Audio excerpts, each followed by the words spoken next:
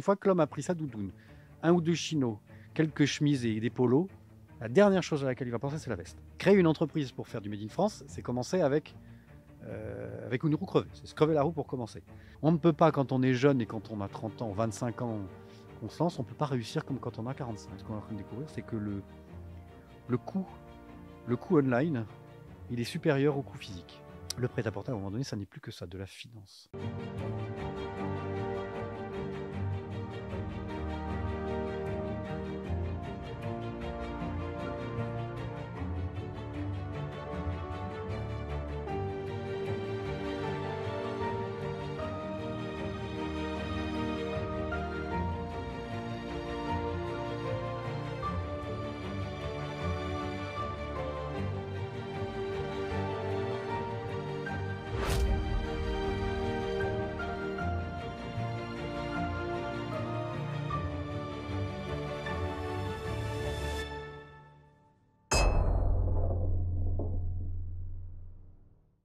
Bonjour à tous, bienvenue pour ce nouvel épisode des bâtisseurs. Alors la dernière fois, on a eu comme invité Hugo Jacomet, je vous l'avais dit. L'invité suivant serait Julien Scavini. Julien Scavini, bonjour. Bonjour. Merci de nous avoir rejoints. Donc Julien Scavini, pour ceux qui ne le connaîtraient pas, alors pour les passionnés d'art sartorial, je pense qu'il n'y a pas besoin de présentation, mais rapidement pour ceux qui ne le connaissent pas, donc Julien Scavini est un tailleur, euh, et puis il est assez connu en fait dans le milieu sartorial. Il possède le blog Steve Collard, qui est quand même euh, référence, et puis l'un des premiers blogs, si je pense. euh, en tout Ou un des, des derniers, on veut dire, oui.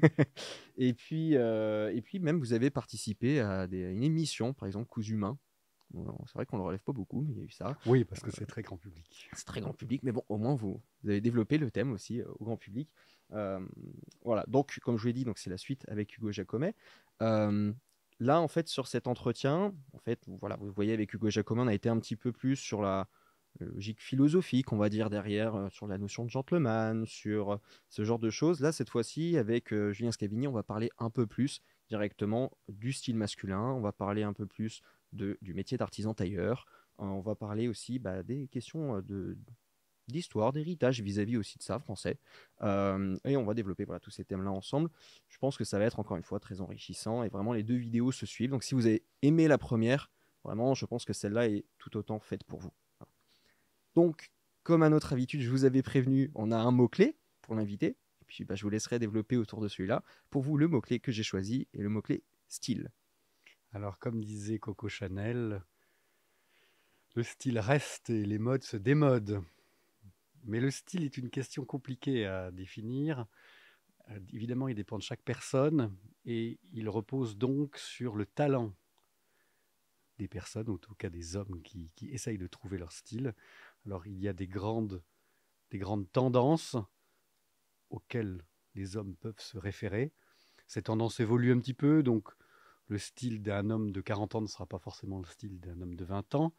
Et même à l'intérieur de ça, il est possible pour chacun de trouver sa propre, sa propre marque.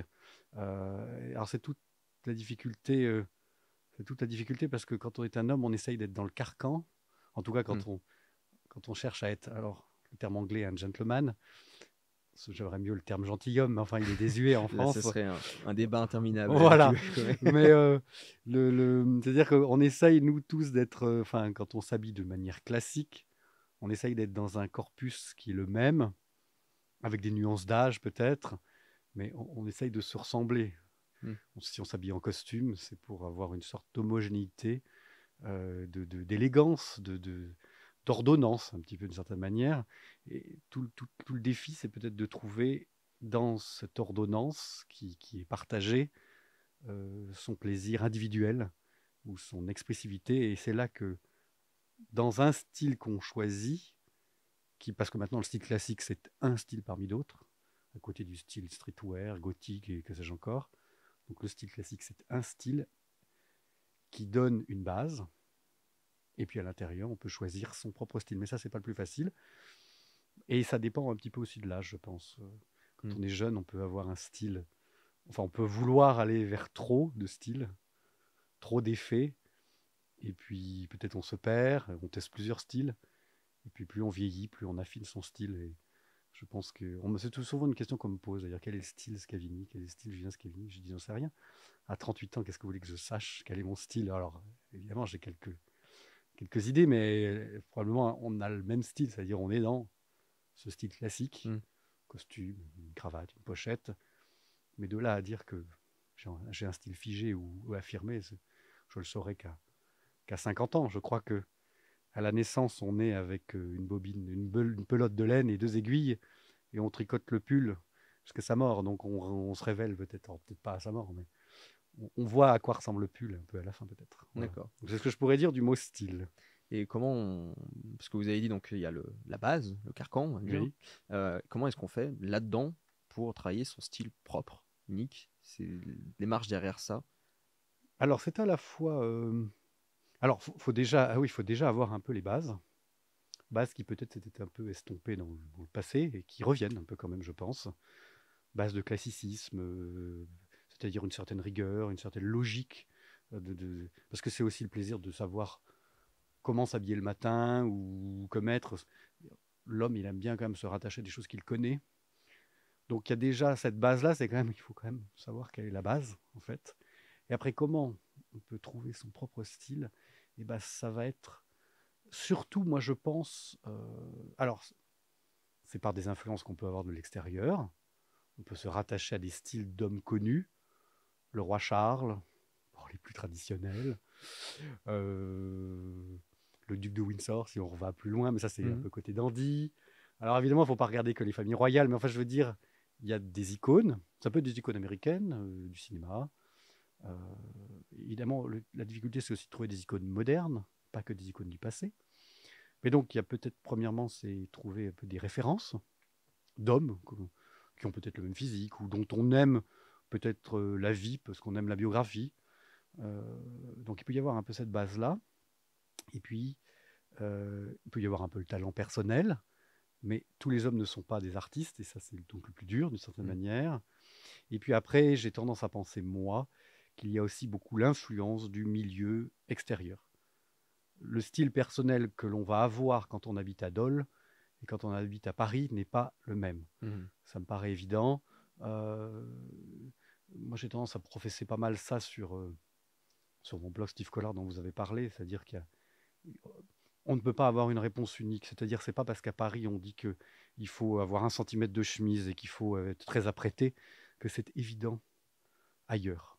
Hmm. Euh, et surtout en province. On peut pas s'habiller, euh, on peut pas s'habiller à la Défense et à Paris 8e comme on s'habille peut-être à Paris 6e et comme on s'habille à Bayonne, à Clermont-Ferrand. ou- voilà. Donc je pense que ça dépend à la fois de l'environnement de vie et de son travail. C'est-à-dire, il faut pas non plus avoir l'air d'être endimanché quand on est dans un environnement professionnel où c'est pas le cas. Hmm. Donc tout le but, là, même si on connaît les codes, c'est de savoir s'en jouer un petit peu et, et de savoir euh, non pas se fondre, parce que le but c'est pas de passer, de pas passer dans- sous le tapis et de pas raser les murs, mais ça sert à rien de venir avec une pochette ostentatoire et une cravate dans un environnement de travail où c'est pas le cas. Hmm. Au contraire, je crois que la plus grande des élégances, c'est un, de pas de faire remarquer à ceux qui n'en ont pas, et puis deux, donc c'est pas de leur projeter la- au visage, voilà, parce qu'en fait c'est très vite vu en France comme euh, une question de supériorité Ouais, sociale. de, snobisme un peu. Ouais. Et donc c'est pas la peine, c'est pas la peine de raccrocher le beau vêtement, qui est une passion, qui est un art. C'est pas la peine de, de de- de- de l'encastrer, de le corneriser comme ça dans un coin euh, spécial. Hmm. Voilà. Donc j'ai tendance à penser que dans un environnement de travail euh, ou du quotidien qui est euh, sobre, un beau col roulé, une belle veste mais pas tapageuse. Elle peut être en cachemire bleu, elle n'est pas obligée d'être à carreaux. Voilà, donc on peut trouver comme ça. Donc voilà, trouver son style personnel dépend de sa base de- d'études, son corpus, ensuite des, des références qu'on pourra avoir. Ça peut être, ça peut être tout simplement son père ou son grand-père, mais ça peut être aussi euh, Clark Gable ou, ou je ne sais pas, ou John Gielgud pour trouver un acteur Mhm. un petit peu plus récent, euh, encore que. Euh, et après, bah, il y a l'environnement. Je crois qu'il faut beaucoup miser sur, dans l'époque contemporaine, il faut beaucoup miser sur euh, ouais, l'environnement et être adaptatif. Et, et jusqu'où on peut, euh, on doit même respecter ces règles? À quel moment Parce qu'il y a les règles de base qu'on va Oui. apprendre, etc. Mais est-ce qu'après le, le summum du style, c'est pas justement savoir quand on est capable d'aller au-delà de ces règles après? Ah bah ça, oui. oui. Bah ça, ça dépend de l'âge. Ouais. Je pense que quand on est jeune, forcément, on va respecter les règles en en faisant trop. Et je pense que en faisant des erreurs ou en étant trop à un certain âge, on se dira plus tard que, euh, enfin, on aura appris et, on fera plus, plus, plus discret ou mieux en fait. Enfin, pas forcément plus discret, mais c'est mieux. Mais il faut faire des erreurs en fait, probablement. Alors comment savoir? Bah, Ça dépend de tout un chacun. Euh. Mais il faut pas acheter la pierre, il faut pas faire peur non plus. Il faut, faut, faut, pas donner l'impression que c'est un art compliqué non plus. Donc euh, c'est très délicat à dire parce que tous les hommes n'ont pas ce talent. Euh, donc tous les hommes ne sauront pas quel est le là où mettre le curseur, hein, si on parle en analogie informatique un petit peu. Ça dépend de tout un chacun. Il faut aussi se fier sur l'environnement. Je crois qu'il ne faut pas toujours se fier aux dames, oui. aux épouses, parce que c'est pas toujours non plus. Elles n'ont pas toujours un avis qui est. J'ai tendance à penser parfois à la boutique en voyant les réactions. J'ai tendance à dire que non, n'écoutez pas toujours. Euh, c'est pas parce que vous allez à parce, pas parce que vous avez trois enfants et que Madame veut les habiller de la même manière que vous, le mari, vous devez être habillé de la même manière que vos trois fils, parce que vous êtes le mari, donc vous n'êtes pas l'enfant. Donc il y a des, il peut y avoir des tips comme ça qui voilà. Mais après, il y a des épouses qui sont charmantes et qui ont beaucoup de goût. Donc, je tiens à relativiser ce que je viens de dire. Et en parlant de style, euh, on voit tout le temps avec un nœud papillon. Alors que c'est vrai que la tendance est plutôt euh, essayer de faire revenir la cravate. oui, oui. Est-ce que vous pourriez nous expliquer un, alors, la démarche derrière euh, oh, alors, je ne sais pas si la tendance est à faire revenir la cravate. Hein. En tout cas, il y a une volonté. Euh, oui, oui, oui. On peut peut-être dire que sur les plateaux de télévision, sur les jolis plateaux de télévision, il y a un petit peu plus de cravate peut-être qu'il y a qu'il y a 5 ans. Hum. Parce qu'il y a une sorte de, de, de, creux assez rapide là, sur la cravate. Disparition, mais ça revient un peu. Et j'ai tendance à penser même que le papillon, je sais pas comment le dire, mais il est parfois plus, plus, plus porté que la cravate. Ne serait-ce parce que les mariés se marient souvent en papillon, donc ça fait un gros contingent. Euh, alors après, moi j'aime bien le papillon parce que parce que c'est pas très c'est pas très important en termes de volume, euh, parce que ça change un petit peu aussi. Je suis une formation, enfin j'ai suivi des études d'architecte. Ça m'a beaucoup amusé. Les architectes étaient souvent en, en nœud papillon parce que là, c'était pour éviter que la cravate aille euh, se promener sur les tables à ah, dessin, à l'époque où il y en avait. C'est pour éviter de faire baver l'encre. Donc les architectes portaient un, papillon et les médecins, bah, pour la même raison, euh, éviter d'avoir une cravate qui se balade d'un lit à l'autre. Mmh. Pour éviter de transporter des microbes. Donc le papillon, au moins, est une forme petite.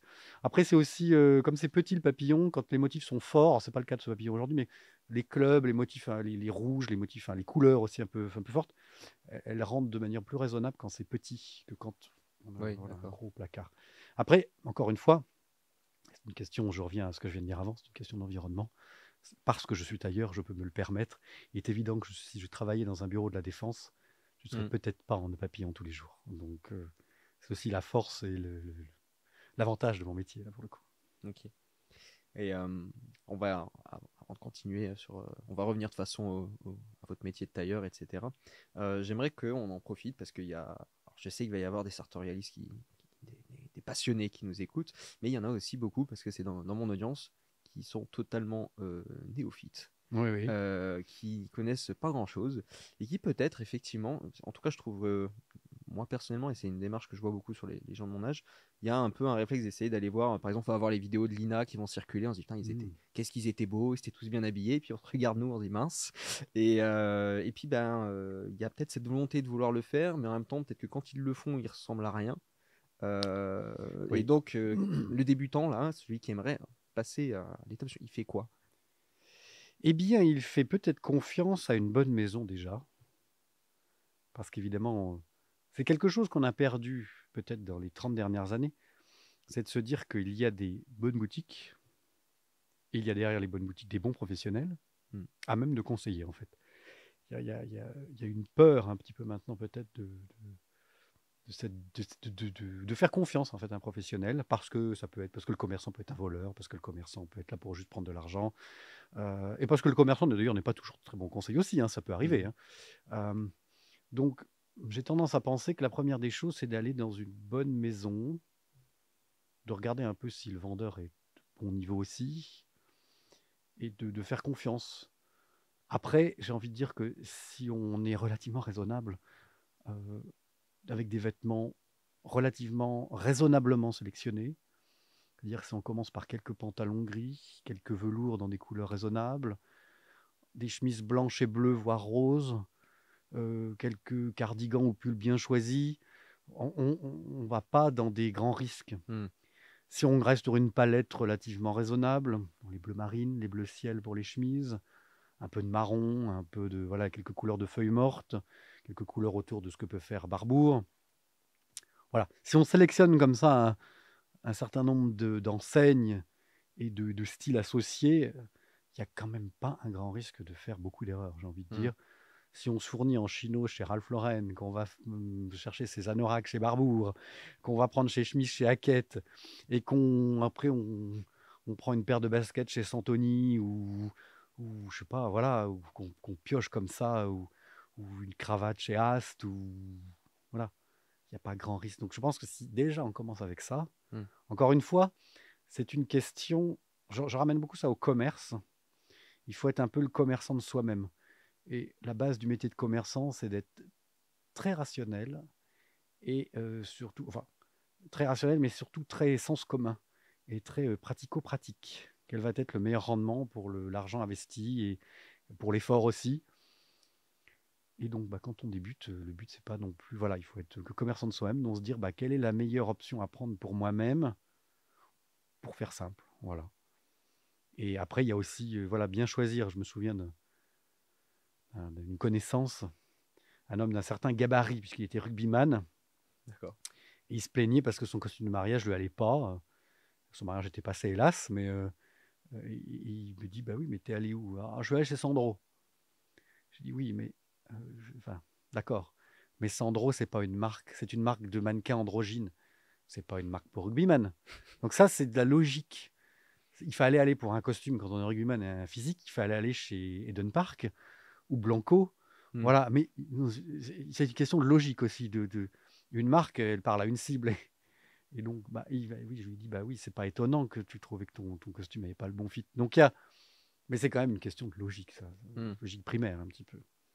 Donc bien choisir le, bien choisir le, le fournisseur, qu'il soit à Paris, soit en province, euh, et, faire confiance un petit peu aussi. Hein, et pour ce qui serait de, de, son aller faire son premier costume, vous là ça, serait euh, comment? Ah bah alors c'est pas si simple. Euh, quand on fait, alors on fait, c'est pas simple comme question. Moi, mon premier costume, je vais parler de mon expérience pour le coup. Il n'était pas fait en mesure. Mais je fréquentais à l'époque une maison qui était plutôt qualitative, même si je ne suis pas tout à fait d'accord avec depuis quelques années avec ce qu'elle fait, mais j'aimais bien Hackett, une marque anglaise. Mmh je fréquentais pas mal la boutique Hackett et, et, ben, tout simplement, mon premier costume, je l'ai acheté chez Hackett. Veste trois boutons, hein, comme la vôtre aujourd'hui, euh, costume bleu marine, extrêmement simple. Et j'avais dû prendre une chemise bleue, blanche peut-être, ou petite rayée. Une cravate exactement comme ça, une bleu marine, un petit motif bleu ciel. Voilà, donc euh, j'avais fait confiance à une bonne maison. Le fait est que maintenant, le prêt-à-porter, il y a, on trouve un petit peu moins, enfin, on trouve toujours des costumes, mais c'est pas forcément toujours simple. J'ai envie de vous dire que si on s'y connaît pas, on peut vite se retrouver dans une marque euh, très banale, avec le costume incroyable à 120 euros. Ah ouais, non, ça c'est. Non. Euh, Alors non, un costume, non. Un costume, il faut, faut, mettre des choses, enfin des prix en face des choses je pense qu'à partir de 450 euros, ça c'était un peu avant que l'inflation nous embête là, mais je pense qu'à 450 euros, euh, c'est un peu le minimum. Mmh. On trouve ça dans, on peut trouver ça chez Massimo Dutti, une marque espagnole euh, pas si mal. On peut trouver ça chez des détaillants à Paris ou en province, des indépendants. Ils peuvent avoir des costumes gris, bleu, quelques motifs. Euh, ouais, 400, 450. Je pense que c'est un prix qui est tout à fait honnête pour mmh commencer pour un prêt-à-porter. De mémoire, à Quête, moi, à l'époque, il, y a 15 ans, c'était entre 6 et 800 euros. Je pense que ce prix n'a pas tellement évolué, malgré l'inflation, malgré une dizaine d'années passées. Ça doit toujours être entre 6 et 800, enfin plutôt 800 euros le costume. Euh, voilà, c'est-à-dire il faut se dire que ça va coûter un certain prix aussi. Il faut pas... Un indicateur qui pourrait permettre aux débutants de se rendre compte tout de suite si, euh, parce qu'après, c'est le problème avec les, entrées de gamme, c'est qu'on peut tomber sur du bon. Alors, c'est pas, oui, c'est pas évident non plus parce que je vais me dédire un petit peu de certaine manière parce que euh, j'avais un, proche ami qui, au début de son, sa carrière dans l'aéronautique, cherchait à avoir plusieurs costumes d'un coup et, on, bah, il ne voulait pas mettre beaucoup. Mmh. Et j'avais trouvé une boutique près des Halles euh, qui vendait des costumes euh, Mario Bellini ou une marque comme ça, Mmh. fabriquée en Tunisie, avec une grosse étiquette Super 150 alors que c'était 100% polyester. D'accord. Euh, donc, euh, euh, Super 150, c'est une jauge de laine. Voilà, Ouais. pour, pour- donc c'est une blague parce qu'en fait, il n'y avait pas de laine, c'était que du polyester. Et franchement, il avait dû acheter bien ouais, 4-5 costumes. Ça valait 150 euros le costume. Il faisait les retouches en une heure. Et c'était vraiment, c'était pas si mal. Mm. Dans une, dans une petite taille, en plus un petit 46, et avec une jolie paire de, de Richelieu bien choisie chez Rudis, qui est une petite enseigne de souliers à 80 euros. Franchement, j'étais bien content parce que ça faisait une tenue avec des chemises blanches et bleues, euh, des costumes gris-bleu. Et c'est- On n'avait pas pris les, les tissus rayés, les tissus. euh, de- il y avait des tissus de macro, il y avait des tissus brillants dégueulasses, Ouais. mais on avait pris des choses relativement simples. Et tout ça était de, de bonne allure. D'accord. Donc, euh, c'est très difficile de donner un, un critère hein, quand on est jeune et qu'on débute. euh. encore une fois, je pense qu'il faut faire confiance à la marque et aux détaillants. Voilà, euh, autant que ce soit en province qu'à Paris, il faut pas radiner. Euh, Et et, euh, euh, on dit euh, comme Hugo Jacomet, s'il y a le si le, le commerçant vous dit euh, prenez un costume noir en premier costume, c'est génial. Ça va être génial. Alors ça, c'est peut-être un, oui, ça c'est peut-être un indice. ça c'est peut-être un indice que c'est pas le bon commerçant. Si, oui, oui, oui, mais encore une fois, euh, encore une fois, je pense qu'il y a des boutiques où ce sera pas le cas. J'étais à Versailles dimanche dernier. Je me promenais dans une des rues.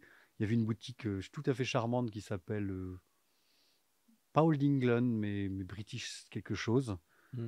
Ben, en vitrine, en vitrine, j'étais assez étonné parce qu'il y avait un joli pantalon à 69 euros, une jolie petite flanelle, la veste. il y avait un costume rayé avec une jolie rayure créée dans les 200 euros environ. Ouais. C'est pas très cher, mais ça, rien qu'en voyant la boutique, on peut se dire que qu'il y a une confiance à avoir dans, dans ce qu'il y a en vitrine. Encore une fois, je reviens à cet exemple de, de Sandro versus euh, Ouais. voilà Eden Park. C'est-à-dire quand on regarde la boutique et que euh, parce que je pense que l'audience qui va nous regarder, elle doit être relativement classique. Voilà, je pense que évidemment, immédiatement, une boutique, elle va parler aussi par ce qu'elle dégage. Donc, c'est évident qu'une boutique avec des, re- des, des- des minuscules revers comme ça, Mm. euh, des, voilà, euh, j'ose même pas décrire ce qu'il pourrait y avoir en vitrine, mais euh, ça, ça peut vite, vite. Après, euh, c'est vrai, mais après, c'est vrai que pour quelqu'un qui est habitué, peut-être à porter euh, tout dans le jogging, etc., il- c'est des trucs à côté euh, que- desquels il va passer, quoi. Ah bah ça oui, mais euh, là, le, oui, mais la marche est énorme. hein. C'est comme évidemment là, eh ben, il va falloir faire des erreurs. Ça, je peux le dire aussi. Euh, eh bien oui, c'est normal dans la vie de faire des erreurs. Mm. Et il faut pas en avoir honte d'avoir acheté un mauvais costume qui était le premier, d'avoir euh, parce que bah voilà, quand euh, quelqu'un qui débute dans les cigares, et bah, probablement que trois ans après, il se dira que les cigares, les cigares qu'il a fumés au début étaient dégueulasses, et puis que bah, quelqu'un qui commence dans le vin aussi va se dire, bah, c'est normal que deux ans après, il va pas acheter les mêmes bouteilles de vin qu'au début. Mhm. Donc je pense que dans tout art, euh, dans tout apprentissage, et forcément, il y a, il y a- forcément. Alors, mais ça coûte de l'argent, on suis d'accord. Alors, est-ce qu'il faut euh, euh, Alors, il y a aussi sur les forums, euh, dans les, dans les cercles, on va dire autorisés, il y a aussi beaucoup de gens qui disent qu'il faut aller que dans la fripe, c'est-à-dire trouver des vêtements de deuxième main. Mhm. Alors, je sais que entre Vinted, Le Bon Coin euh, et puis des sites anglais spécialisés, je sais qu'il y a une certaine capacité à trouver des jolies choses. Mais ça, c'est encore plus dur. Moi, je suis désolé, mais je pense que c'est encore plus dur. Ouais. Les risques d'erreur sont encore plus importants. Le coût financier, il est à peu près égal, parce qu'une une petite boutique indépendante, que ce soit à Paris ou en province, celle de Versailles, moi, j'ai envie de dire, un costume à 400 euros, euh, bien acheté, peut-être euh, au plein tarif, mais en solde, avec un peu de retouche derrière, ça peut valoir euh, un truc qu'on achète en ligne, qui arrive, qui n'est pas aux bonnes cotes. euh, Mm. donc, franchement, et puis quand, j'ai tendance à dire quand on s'y connaît pas, être devant Vinted ou Le Bon Coin, essayer de scroller voilà, pour chercher un trench ou chercher un costume, Ouais. moi je crois pas du tout à cette option. Je pense qu'il vaut mieux aller voir un professionnel qui a pignon sur rue et lui dire bah, Moi je cherche un costume bleu, sobre. Voilà. Alors, soit le professionnel, il a la réponse, parce qu'il a du goût, parce qu'il. Voilà. Mais un professionnel qui fait des costumes et qui n'a pas le costume bleu de marine, euh, bon, faut dire que, faut se Mhm. dire que c'est peut-être pas le bon professionnel à ce moment-là. Et donc d'ailleurs, euh, donc, euh, tant qu'à faire, en premier costume plutôt vers le bleu marine, ce serait peut-être le ce, ce qui Alors. passe partout dans ce cas. Ah, bah, je vais, je vais, bah, ça dépend, mais je vais dire, je vais dire quelque chose. Moi, j'ai tendance à penser oui, bleu marine, mais j'ai mis quelque chose récemment sur le blog en pensant que le bleu marine était, était la couleur, et, et un gentil commentateur a répondu que le bleu marine était connoté atlantiste, et que ici, euh, dans le bon vieux Paris, enfin dans bonne vieille France plutôt, c'était le gris. C'était la couleur de la sobriété et du raisonnable. Donc, chacun se fera un avis. Et euh. du temps moyen qu'il fait à Paris aussi. Voilà, oh, bah, ça, oui, tout le temps. euh, Ciel... Oh, encore que ça va en ce moment. Mais... Donc, en tout cas, oui, ça dépend des goûts. Ça. Et on fait attention de plus à, à la coupe. Le- Vraiment, ça va être l'élément central. euh. Encore une fois, j'ai tendance à penser que les costumes qui se vendent dans le commerce ont de manière générale une coupe qui, est- Mm.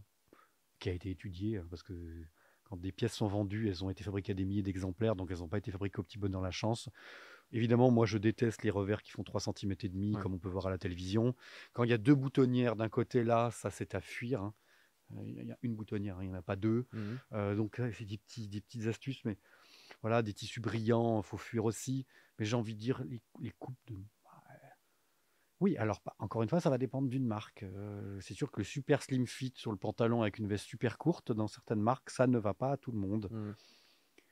L'exemple même, euh, pas d'une marque que- que- que- qui fait des choses euh, qui sont discutables du point de vue du style, parce que tout le monde ne sera pas d'accord avec ce style-là, mais qui fait bien les choses, c'est Anthony Garçon.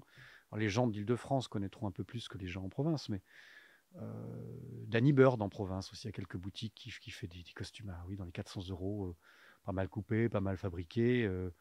et, et Anthony Garçon, bah voilà, on peut dire que peut-être le pantalon il est trop slim, on peut dire que la veste elle est trop courte, mais c'est pas si mal et, et ça va pas mal. Ça, moi, à chaque fois que j'ai vu des exemples à la boutique, j'ai trouvé que Mm. il y avait une petite allure, voilà. Mais évidemment, tout est discutable.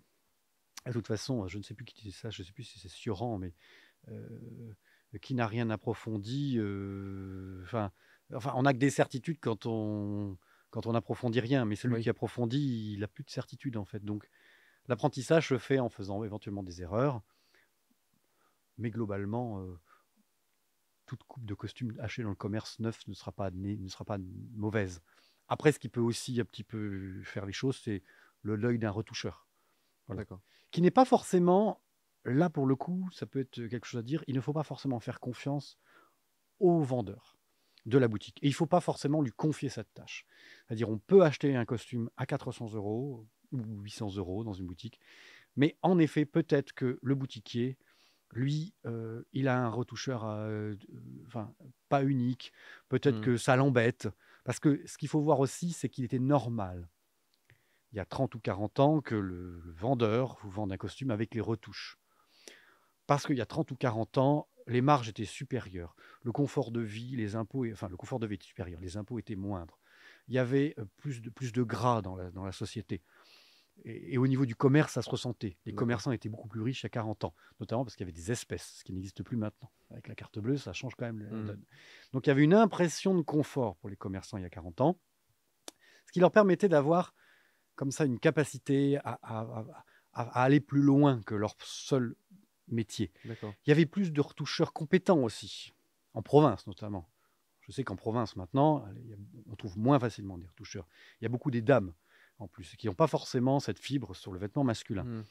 Euh, et donc, il ne faut pas forcément euh, demander au vendeur qui, lui, a une boutique, euh, qui, lui, a, des, a, des, a des complications de vie. Enfin, moi, je, je défends un tout petit peu ma paroisse sur les commerçants, mais ça n'est pas si facile de nos jours de tenir un commerce, surtout en province, Mhm. surtout dans le vêtement masculin, surtout dans le costume. Donc, il ne faut pas forcément mettre tout sur le dos du commerçant. Il n'a pas forcément, en plus, euh, il peut peut-être avoir le joli produit, mais il n'aura peut-être pas forcément l'œil pour ça. Et puis aussi, le commerçant, c'est celui, qui va vous vendre le costume, c'est pas forcément le patron. Ça peut être une vendeuse. Hmm. Aussi charmante soit-elle, ou un vendeur, aussi charmant soit-il, il n'y aura pas forcément le talent. Parce que là encore, ce qu'il faut voir, c'est que le recrutement est difficile. Combien de commerces ne trouvent pas de vendeurs? Et même quand ils en trouvent un, soit qu'il ne reste pas beaucoup, parce qu'il n'y a pas beaucoup de fidélité à ce niveau-là, soit qu'ils n'ont pas grand-chose à fiche, parce qu'en fait, ils seraient aussi bien à être à Carrefour que là, Ouais. à faire du vêtement. Donc, les patrons doivent aussi euh, voilà, gérer avec ça.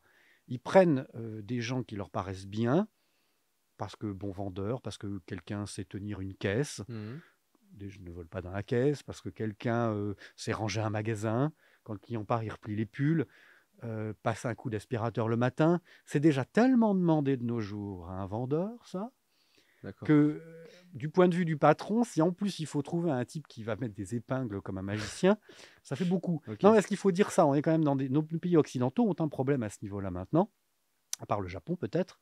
Nos, pays ont un problème de, formation et d'appétence des gens au goût du travail, du travail bien fait. Hmm.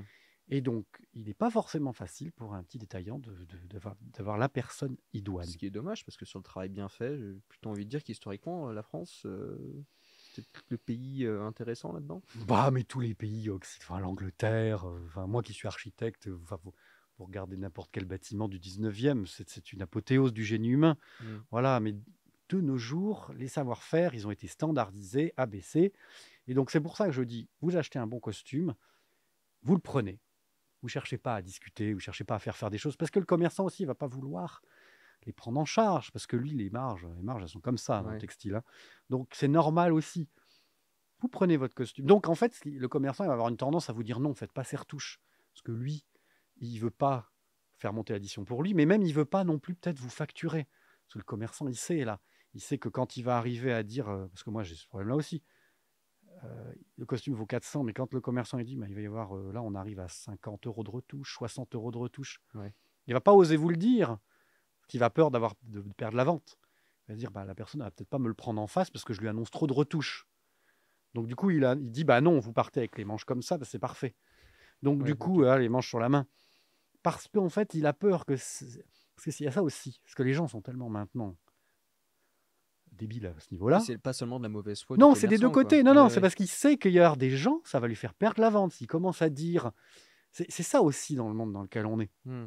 S'il commence à annoncer à des gens pour que ce costume vous soit parfait, s'il a ce discours pour tous les gens, pour que le, costume soit parfait, il faut faire ci, ça, ça et ça, il va perdre, toutes il va perdre beaucoup de ventes. Parce qu'il va pas beaucoup tomber sur quelqu'un qui va lui dire oui.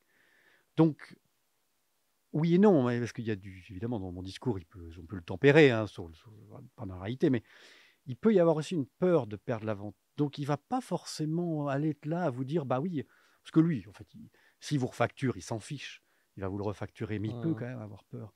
Donc moi j'ai tendance à dire, vous prenez votre costume, votre chemise, et le mieux à faire, c'est vous trouvez un retoucheur et vous faites les choses vous-même. Les manches, votre, votre chemise, euh, si les manches sont trop longues, vous faites reprendre les poignets, voilà. C'est c'est-à-dire que euh, le commerce, euh, tout ne repose pas non plus sur le commerçant. Euh, comme l'individu soit responsable aussi à un moment donné. Comme à l'école, tout ne repose mmh. pas sur l'enseignant. Les parents, de l'autre côté, ils ont voilà leur, leur, leur lot à faire. Et c'est pareil pour, Je pense qu'un bon client, c'est quelqu'un qui comprend aussi ce qu'il vient chercher et comment il vient le chercher. D'accord. Voilà. Et donc, alors évidemment, faut pas non plus dire qu'on va acheter que des trucs et aller que chez le retoucheur parce que c'est aussi du travail. Mais faut aussi comprendre l'environnement. Mais euh, ça, c'est marrant, c'est, enfin, marrant. Ce que vous racontiez sur le côté un peu euh, le problème entre le commerçant et le client, sur est-ce que je peux lui dire de le faire, etc. Là, vous avez donné cet exemple-là précisément pour euh, le fait de faire retoucher un vêtement. Mais d'ailleurs, je pense qu'il y a des commerçants, je le vois dans les commentaires qui, qui, nous suivent. Je suis convaincu que c'est des problèmes qu'on peut trouver un petit peu maintenant partout dans, plein d'autres domaines, etc., qui amènent à une baisse de la qualité des services. Et en même temps, de l'autre côté, les gens qui font moins en moins attention, on est dans une sorte de cercle vicieux. oui. Et euh, on n'est plus dans cette, euh, effectivement, cette France qui aimait le, travail bien fait. Bah, c'est des deux euh, côtés. C'est-à-dire qu'il y a il faut de l'éducation. Donc, on parlait d'éducation sartoriale, le mot afférent donc aux, affaires du tailleur. Mmh donc, ça, c'est une question du style et de goût. Mais il y a aussi une éducation. on n'est pas, on n'est pas un client n'importe comment. Il y, a, il y, a, une courtoisie, il y a, il y a, il y a une, voilà, il y a une façon de faire quand moi j'offre un, costume à, voilà, je sais plus, dans le cadre d'un partenariat que j'ai eu récemment, d'un remerciement, j'offre le costume. Enfin, la personne était censée le payer, mais à la fin, je lui offre. La personne revient trois fois le faire retoucher derrière. Dire ça, c'est un problème moi, qui m'a sidéré. Hmm. C'est dire non. À l'inverse, j'ai un client récemment euh, qui l'a dit, un de mes collaborateurs qui me l'a dit. Il, il, pas, il trouvait qu'il y avait la manche à 5 mm il, a dit à mon collègue oh, Je suis pas venu vous embêter avec ça, j'ai un retoucheur à côté de chez moi, je vais le faire faire. Voilà. bon, je veux pas non plus me défausser, parce que c'est, en tant que commerçant, c'est mon rôle. Hein. Mmh. Mais enfin, je veux dire, il y a, y a dans, dans toute chose. Mais Internet aussi. Quand maintenant vous achetez des choses sur Internet, la loi oblige, vous avez 14 jours pour envoyer. Parfois, certaines marques euh, même donnent plus. Mais ça, ça déresponsabilise complètement le client, en fait. Il achète ce qu'il veut, il renvoie, il a rien à foutre de ce qui se passe derrière. Parfois, le colis peut être jeté. Enfin, Amazon avait cette pratique-là, et jetait les, produits de retour parce qu'ils ne savaient même pas les remettre en, rayon. Donc, euh, mais ça, c'est, enfin, ok, on peut vraiment se tromper, se gourer. Mais en termes de volume sur la société, c'est délétère de se dire, bah ok, on achète des choses, mais en fait, on s'en fout, on le rend. on le rend. Donc, ça induit, ça distille comme ça euh, que le produit, en fait, c'est que le commerçant derrière, en fait, il est Bah, c'est juste la là. consommation euh, Ouais, rapide, oui. quoi, tout simplement. euh. On on parlait de, de cet aspect euh, un peu aussi, c'est schizophrène un petit peu cette relation client. Pas mal de clients, moi, qui dans le passé me disaient, oh, qu'est-ce que vous pensez de De Fursac? Ça tient pas, c'est pas solide, c'est fragile. Combien de fois j'ai entendu ça Oui, le pantalon a craqué en six mois. Je dis oui, d'accord. Mais pourquoi vous l'avez acheté ce costume? Parce que quand vous l'avez essayé, vous l'avez trouvé fin, soyeux, léger. Si, si De Fursac, cette marque, vous avez fait un costume euh, dans un, une, super lourd, vous l'auriez pas acheté. Parce que ça vous aurait pas plu. Mais ce qui vous a plu quand vous étiez avec votre compagne, devant le miroir, avec le vendeur, c'est cette fluidité, cette impression de légèreté, cette douceur. Donc, l'argument d'achat, c'est en même temps la limite que vous lui reprochez après. Donc il y y ouais, y a beaucoup, pareil, les chemises, les gens, ils veulent que ce soit léger, souple. En même temps, après, ils s'étonnent que ça lime, que ça, que ça élime.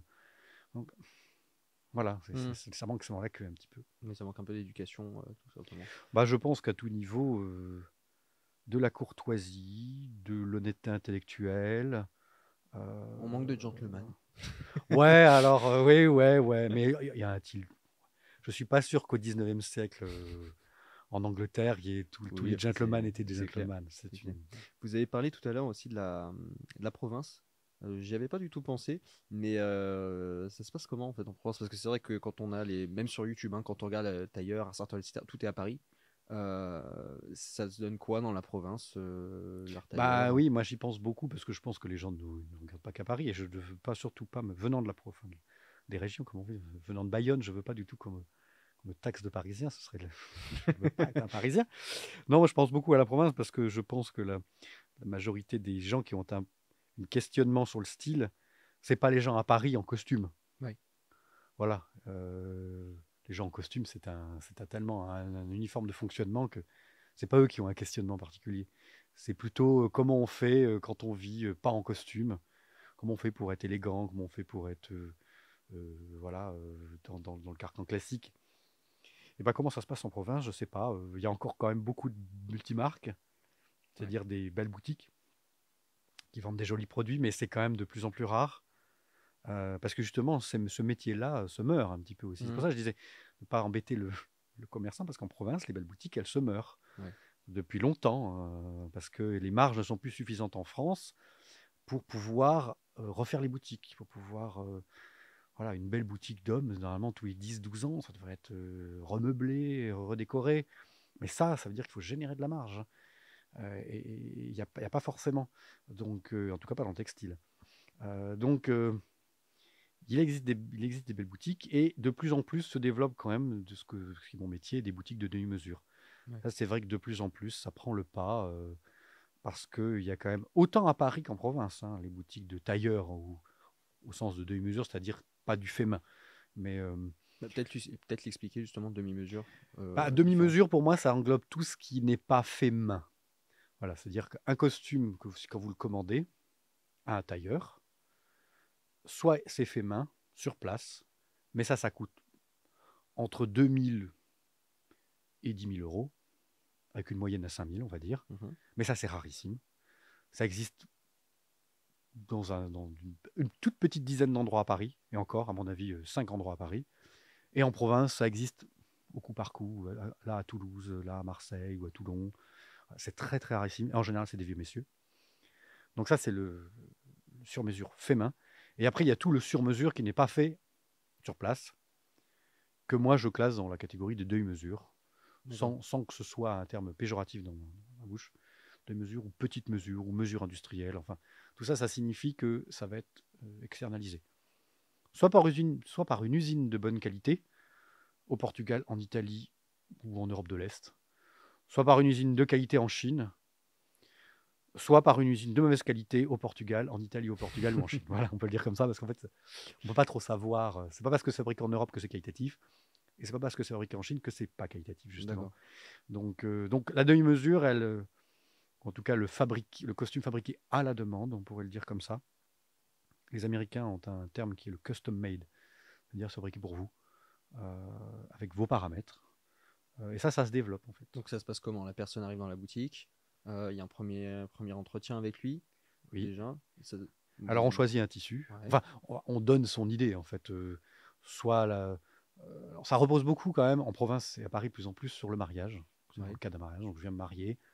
J'aimerais un costume euh, deux pièces, trois pièces, une jaquette peut-être. Plus rarement en province pour un costume de ville, je pense. Un peu Mm. plus à Paris. La proportion, euh, ça s'inverse un petit peu là justement. Donc quelle est l'occasion? C'est le premier point. L'événement. Euh, ensuite, bah, on va orienter sur un tissu. Est-ce que vous voulez un tissu bleu Comprendre les goûts de la personne, Voilà, c'est ça. Euh, et ensuite, bah, on prend des mesures. Alors, on fait choisir des options de style, hein, une couleur de doublure, quelques poches. Est-ce que la veste est une trois boutons, une deux boutons Mhm. Donc, il y y a le tissu, le style et les options. Voilà. Et ensuite, la prise de mesure. Et ça, vous expliquez à chaque fois avec le client euh, l'impact que ça va avoir sur sa silhouette. Ah bah oui, oui, ça faut le montrer, oui, bah oui, oui, parce que alors ça, il y a ça, c'est pour le coup, les curseurs sont très variés suivant les clients. Là, pour le coup, ça repose beaucoup sur l'expérience acquise Mhm. ou non acquise. Euh, donc là, il faut passer du temps à expliquer qu'est-ce qu'une veste trois boutons, quelle est la différence entre une veste trois boutons et une veste deux boutons esthétiquement, entre un col normal et un col en pointe. Donc tout ça, c'est un petit apprentissage qu'il faut faire dans l'instant. Si on n'a pas de, de background derrière. Voilà. Mais en, en gros, c'est pas non plus très difficile. L'homme, l'homme a toujours une petite fibre geek, pour utiliser un terme contemporain. Donc l'homme est toujours un peu attiré par ce qui est codifié comme ça, ou, ou donc c'est, c'est pas très difficile à faire rentrer. Voilà. Oui, il va chercher à, comprendre les codes, etc. Et à retenir les exactement. trucs, euh, Donc sur une veste, comment on la paramètre. euh, voilà. Et après, la fabrication se fait à distance et quand le costume revient, euh, bah, il est prêt ou avec plus ou moins de retouches. D'accord. Et ça, c'est un, et ça, c'est un créneau qui prend le pas, euh, qui prend le pas sur le costume prêt à porter en fait. Donc c'est un- là, c'est quelque chose que vous ressentez ou Bah, que le ou- marché ressent, D'accord. que le, le- le- en termes de, de macro, euh, le, le volume de, de, de costumes euh, vendus dans le commerce ne fait que décroître Mhm. depuis 30 ans, euh, y compris en Angleterre qui était de loin le plus grand marché européen. Ils ont perdu beaucoup de même des grandes marques ont, ont fermé des, des, des, des- des- des- des chaînes complètes en Angleterre ont fermé hein, de costumes. Euh, donc c'est un marché qui, qui tendanciellement se meurt. hein. Il faut, faut- faut absolument le dire. Euh, il ne faut pas que quelqu'un de demain se dise qu'il va ouvrir une boutique en province pour vendre du costume. Mm. Et je pense qu'en province, pour le coup, j'en parle beaucoup parce que je pense que si à Paris il y a encore un microcosme du costume, un- vaguement à Lyon, Pour aller travailler, quoi, grosso modo. Ouais, encore que. Comme ça. je pense que dans n'importe quelle banque de province, vous allez. Je dis je suis une banque parce que je pense que vous allez dans n'importe quelle banque de province, les gens ne sont pas en costume. Mm. Je pense que même à la BNP à Paris l'autre fois, le mec portait un polo euh, et un chino. Donc euh, il y a, y a- y a une, une vraie perte de, de- de- sur le costume prêt à porter. Par contre, comme on vient de le dire, c'est un objet très paramétrable, euh, dont, dont en plus qui repose sur une fabrication euh, très difficile. C'est-à-dire les, les usines qui seraient capables de fabriquer euh, un pull, euh, enfin un sweat, qui après va se faire, qui va faire du t-shirt, qui après va faire du pantalon, enfin voilà, les grosses usines comme ça sont incapables de sortir un costume. Parce qu'il y a un tour de main. Donc il y a une spécialisation. Et donc, euh, bah, plus une usine est spécialisée, euh, plus elle a tout intérêt à se lancer, elle, dans la fabrication à la demande. Ça demande, c'est très compliqué. Mais tout, intérêt, tout le monde a intérêt, en fait, à faire de la fabrication à la demande. En fait, on revient, on revient au 19e siècle.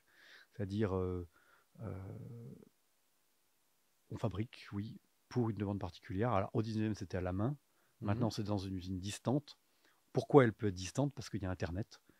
Donc, ça permet de mettre en relation un détaillant avec une usine via l'interface informatique. Il paramètre son costume avec le client, il le rentre, hop, ça passe à l'usine. Euh, donc, ça permet d'avoir un flux tendu comme ça. Euh, ça a deux avantages. Le premier est économique. Il y a un besoin de financement qui est inexistant. Alors que financer du stock, c'est très coûteux. Mhm. Ce qui explique que les détaillants en province, les multimarques, se portent très mal. Même les Galeries Lafayette, hein, c'est voilà, l'exemple typique d'un détaillant en province. Les Galeries Lafayette se portent très mal parce que financer du stock à l'heure actuelle, est très coûteux et, très ruineux et très compliqué. Et euh, fabriqué à la demande, donc il n'y a pas besoin d'argent, on est payé de ce qu'on fabrique. Et puis on le vend avant de le. Voilà, exactement. Et le deuxième intérêt de, cette, de ça, c'est ce qu'on le voit de nos jours. Au 19e, on ne le pensait pas comme ça, mais de nos jours, c'est l'intérêt écologique. Hmm. Vous ne fabriquez que ce que vous avez besoin.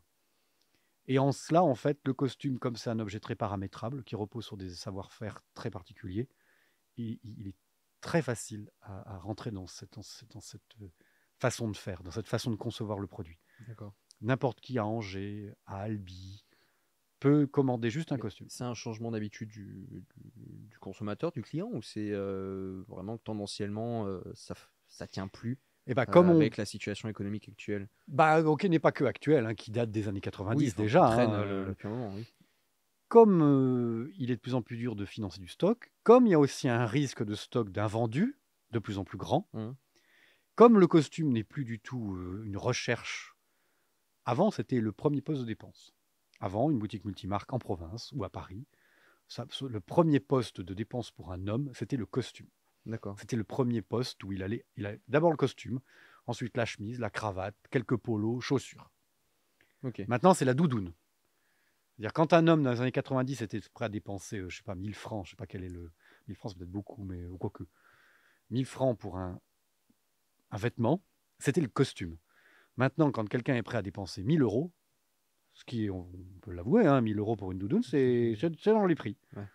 C'est cher, mais euh, Pyrenex, euh, les Canadiennes, là, Canada Goose, c'est les prix. Et en fait, les gens sont prêts à mettre ça, 800 euros à 1000 euros. Donc c'est le premier poste. Donc on voit, hein, et le costume, en fait, dans les études, eh ben, c'est le dernier. Les gens ne sont. Enfin, la veste, en fait, c'est le dernier.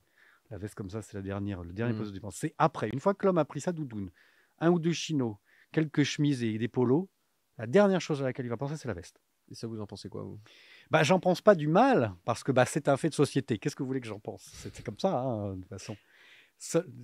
Et en plus, je n'ai pas à pleurer, parce que ce qui prend le pas là-dessus, c'est qu'on va fabriquer à la demande. C'est-à-dire que, OK, j'ai pu à stocker des vestes en, en lin, en cachemire, en, avec des carreaux. Mmh. J'ai pu à me dire, j'ai pu à faire le choix pour le client. J'ai pu à me dire, qu'est-ce que je vais choisir pour cette saison? Qu'est-ce que je vais proposer à mes clients? Le désir ne va plus venir de la marque, mais il va venir du client. Le client va venir. Donc en fait, tendanciellement, euh, si je résume, on a un effondrement quand même du marché sur du costume bah, du, du, du, du, général, euh, du, vêtement de vie. Qui est lié particulièrement au fait qu'il n'y a plus personne qui en achète. Enfin, de moins voilà, en moins oui, exactement. Mais de l'autre côté, on a entre guillemets la revanche mais oui, des derniers survivants. Ah, mais oui, oui. Euh, sur le, sur et un âge d'or. Il y a des tailleurs, etc., qui sont en train de revivre de ça. Du coup. Un âge d'or. Parce que les usines, les bonnes usines qui fabriquaient du beau costume en série, se mettent tout à faire de la, à la demande, en fait, du custom mmh. made dont je parlais. C'est-à-dire que c'est formidable. Parce que pour tout le monde, c'est plus. Alors évidemment, c'est un peu stressant parce qu'il y a des périodes avec des pics comme avril où c'est les mariages. Donc, c'est une industrie très, très, avec des pics comme ça, très cycliques. C'est moins lissé que du, des séries de prêt-à-porter. Mais encore une fois, faire des séries de prêt-à-porter, c'est très lourd financièrement, c'est très lourd humainement. Tous les six mois, il faut commander des tissus pour un an après. Donc, c'est une espèce de roue mmh. compliquée. Là, vous avez des clients, ils viennent, ils choisissent leur tissu, ils choisissent ce carreau gris, ils font que la veste euh, et en plus, si le monsieur il a un, drop, c'est-à-dire une, relation de taille entre la poitrine et le ventre qui n'est pas le bon, dans le commerce, il trouvait jamais le pantalon, il était obligé de dépareiller. Mais là, c'est pas grave, on s'en fiche, parce qu'on va lui produire. Il n'y a, plus d'histoire de drop et longueur, s'il est petit, on fait ce qu'il veut. Et, donc, c'est formidable pour tout le monde. Par contre, ça impose euh, une montée en gamme euh, technique pour le détaillant. Parce qu'en effet, il va falloir qu'il devienne un peu tailleur. Donc ça, il y a des grades de qualité. Euh, on est encore au début, mais c'est pas à le regretter. Comme vous disiez, est-ce que je le regrette? Non, parce qu'en fait, regardez d'autres. Il y a deux autres pans de la société où c'est exactement la même chose. Mmh. Il y a deux autres pans de la société, deux autres pans commerciaux où vous n'allez plus jamais dans le magasin et vous repartez chez vous avec. Les cuisines. Vous ne faites plus jamais, vous n'allez plus prendre. Il y a 50 ans, ma grand-mère, probablement, elle a acheté un meuble de cuisine, elle le mettait dans sa cuisine. Maintenant, 100% des cuisines, chez Ikea, Mobile, Page, Schmidt et tout, elle est faite pour vous. Vous mettez le plan, ils vous produisent les modules, vous mmh. choisissez les façades. Donc, elle est entièrement custom made. Et la deuxième chose, c'est la voiture. Je crois pas que maintenant, vous ayez une voiture neuve comme ça, vous allez à la concession, vous repartez avec une voiture neuve. Votre Golf, votre Renault, votre Mercedes, il vous faut 3 à 8 mois, 18 mois pour un Range Rover. Vous, vous, le, vous le paramétrez. c'est comme le costume. Mmh c'est paramétrable et ça repose sur, bah, pour le coup, un savoir-faire très, très. Fabriquer des meubles de cuisine, fabriquer des voitures. Ça repose sur un tour de main que voilà, il n'y a que les industriels qui savent le faire. Donc ça existe déjà en fait. D'accord. Et on le prédit pour plein d'autres pans de la société. Donc le costume n'y est pas épargné évidemment. Ah, le costume justement c'est drôle. Et il l'industrie française euh, là-dedans. Ah l'industrie française elle est zéro. Elle est zéro, zéro, zéro. Il y a zéro industrie française du costume ou de, du costume en France. Ah oui ça il faut le dire. Euh, Et il y avait avant ou c'est Ah mais oui. En retard?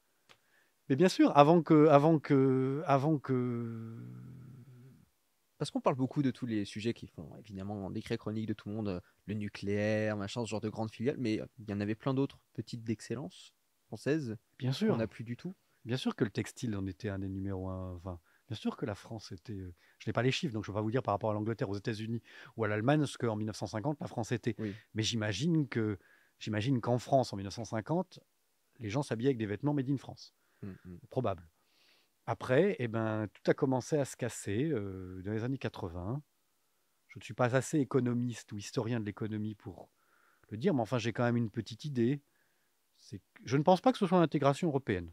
Je ne pense pas parce que qu'on se soit mis avec les Italiens, que ce soit eux qui nous ont piqué le, textile. Hein. En tout cas, je pense que toute l'industrie textile lainière du Nord, de l'Est, je ne pense pas qu'elle soit tombée à cause des Italiens, des Allemands ou des Espagnols. Mmh.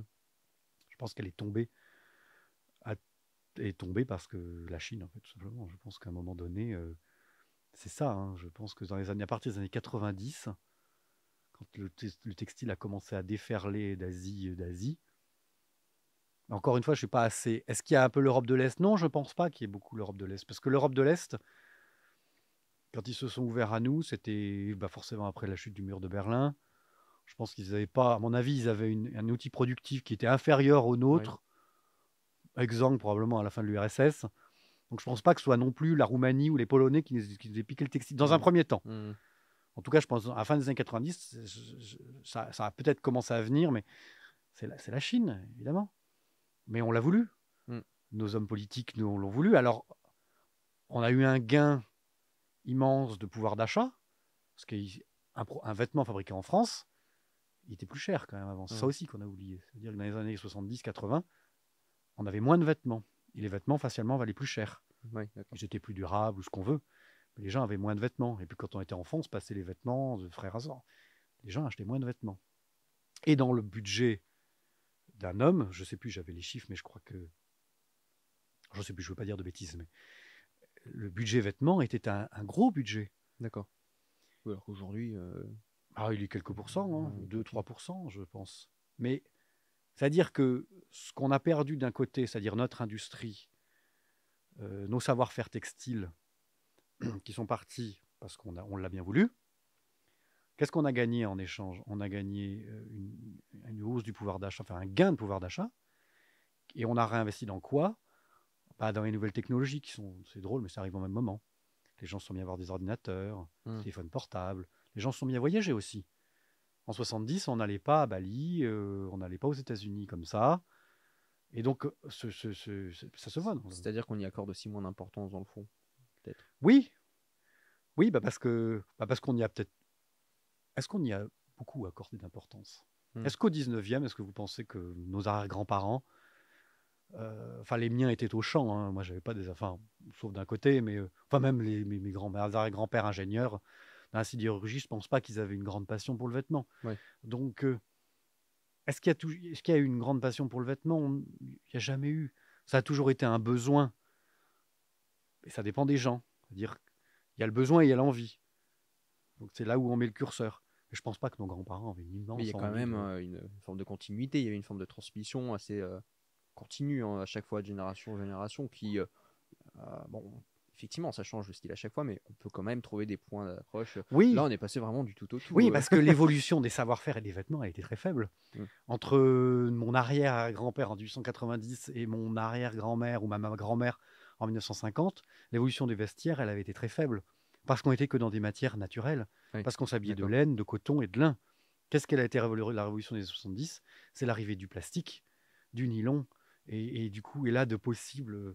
Et, et là, et là mais, ce sont nos, ce sont nos grands-parents, ou nos parents à nous, qui eux ont vu le progrès là. C'est-à-dire que ce qu'on peut, on peut être attristé de l'état des choses, Mhm. mais ce qu'il faut, mettons-nous à la place de nos parents, ben, en 71, 72, 75, eux, ils avaient envie de modernité.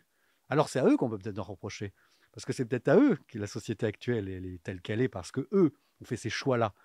Mais euh, euh, choix, choix de l'ouverture de la société, choix de la- l'abandon des frontières, ouais, c'est le constat. On peut éventuellement le, re- alors on peut pas le reprocher à l'histoire non plus, On peut pas le Oui, reprocher à l'histoire, parce que oui. Sarah c'est une boîte de Pandore. mais il y a eu des choix qui ont été faits parce que c'était des choix à un moment donné qui étaient des choix de, de bonheur. Je veux dire, ah bah chouette, le vêtement va coûter moins cher. Le vêtement nous a toujours gavés. Maintenant, on va pouvoir l'acheter ailleurs et avec l'argent, on va pouvoir faire autre chose. Mm. On va pouvoir vivre, s'acheter une voiture notamment.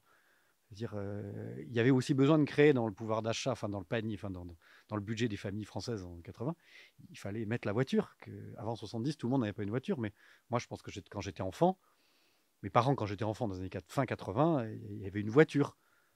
Mais en 90, il y avait deux voitures. Oui. Et oui, tout est venu là. Et puis, ce qu'il faut voir aussi, dans ce regret de la, de la perte de l'industrie française, c'est qu'en fait, plus personne ne veut travailler dans les usines. Parce que moi, j'ai des, des gens qui me disent euh, Ah, mais vous fabriquez pas en France euh, Comme une dame récemment. Ben, je lui ai répondu Mais et votre fille Vous pensez qu'elle veut aller travailler à l'usine? C'est, une perspective de vie, ça, d'aller travailler à l'usine? De faire ce travail répétitif tous les jours, etc. et les usines textiles, c'est les Mm. pires. Mm. Ce sont les pires. Au 19e, c'était déjà les pires. Ouais. Les usines textiles, c'est. euh, alors, pour- pour- en tout cas, quand on est derrière une machine à coudre, c'est toujours le même travail toute la journée. Il faut être très manuel, très adroit. C'est dans beaucoup de bruit, dans de la chaleur, parce qu'il y a des fers à repasser partout, donc il y a beaucoup de vapeur. Alors, l'hiver, c'est pas désagréable, mais l'été, c'est insupportable. Puis il y a du bruit. Et puis, il y a un contremaître, surtout, qui calcule le nombre de pièces que vous faites à la minute. Et moi, j'ai mon fabricant de chemises, il est dans les Deux-Sèvres. Et il a eu un, un papy boom, euh, je ne sais plus en 2017 ou 2016. Ils avaient donc besoin de remplacer. Ils ont cherché des, des- des- des gens qui sortaient d'école. Il n'y en a pas, l'éducation nationale ne le forme pas. Ah, pour tout ce qui est euh, métier tailleur, à rien. Bah, euh, métier d'industrie, c'est-à-dire, c'est mais c'est tellement Oui. minable le niveau scolaire, technique. euh, bon. Du coup, à, du coup, à l'usine, ils ont dit bon, bah, on prend des jeunes filles, parce que bon, il n'y a pas beaucoup de jeunes hommes, et on leur fait des formations internes. Mais ils l'ont dit. Ils l'ont dit, hein, deux ans après, la moitié était partie. parti. Et du jour au lendemain. Parce qu'en fait, pour un SMIC, il vaut mieux travailler à Carrefour, encore une fois, ou à la Poste, Mm. ou dans une banque, que derrière une machine à coudre. Ou si on peut l'avoir, le chômage. Puis, euh, Ça aussi. Bon, après, ça dure pas des années le chômage. Il vaut mieux travailler un peu quand même. Mais euh, non, non, mais c'est sûr, c'est sûr, probablement, probablement. Et, euh, et- et l'usine, c'est très dur. D'accord.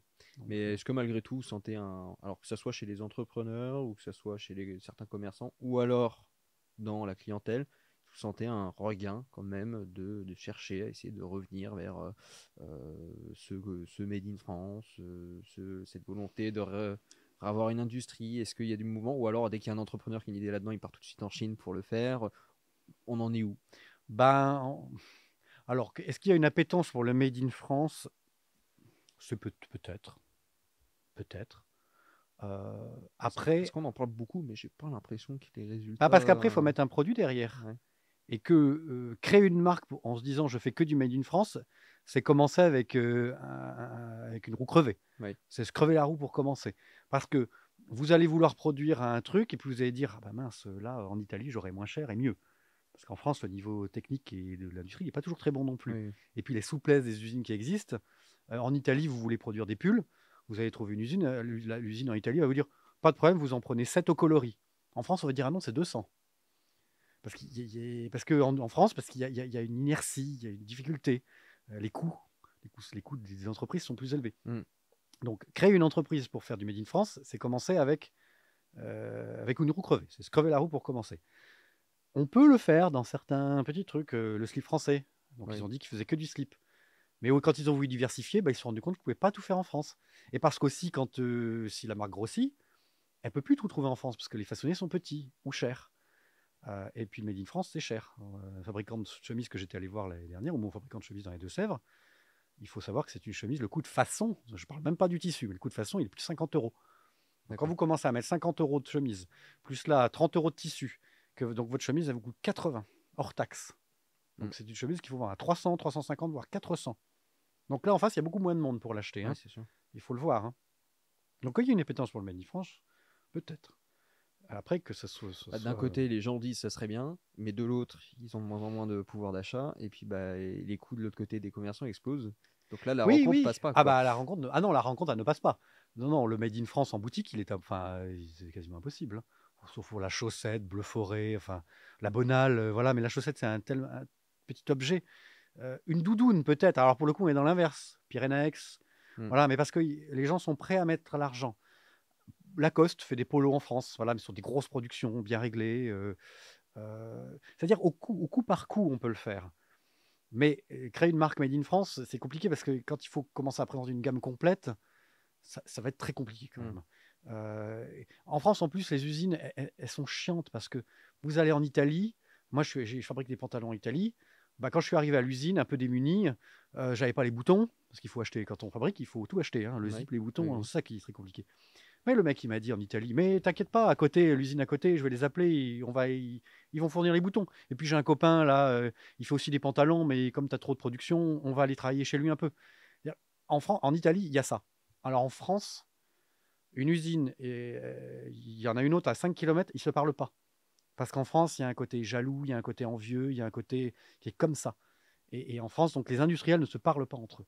Hmm. Et, et- et donc, et donc le, le- le- le- parce que le textile, ce qu'il faut bien voir, c'est que c'est une chaîne de valeur avec beaucoup d'intervenants. Oui. Ça va du fil au tissu, au bouton, au- à la fabrication, à l'emballage.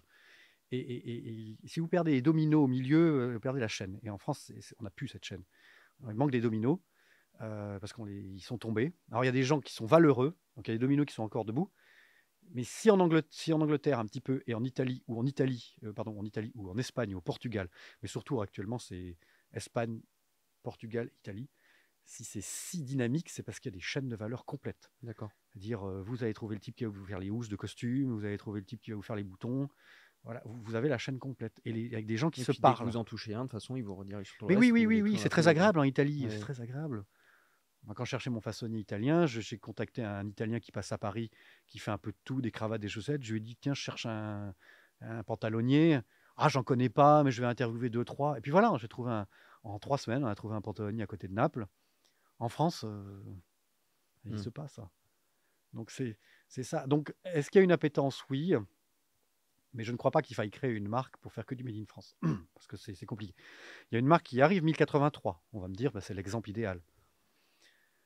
De ce que j'ai vu, je, de ce que j'ai vu, 1083 fabrique du jean, donc principalement.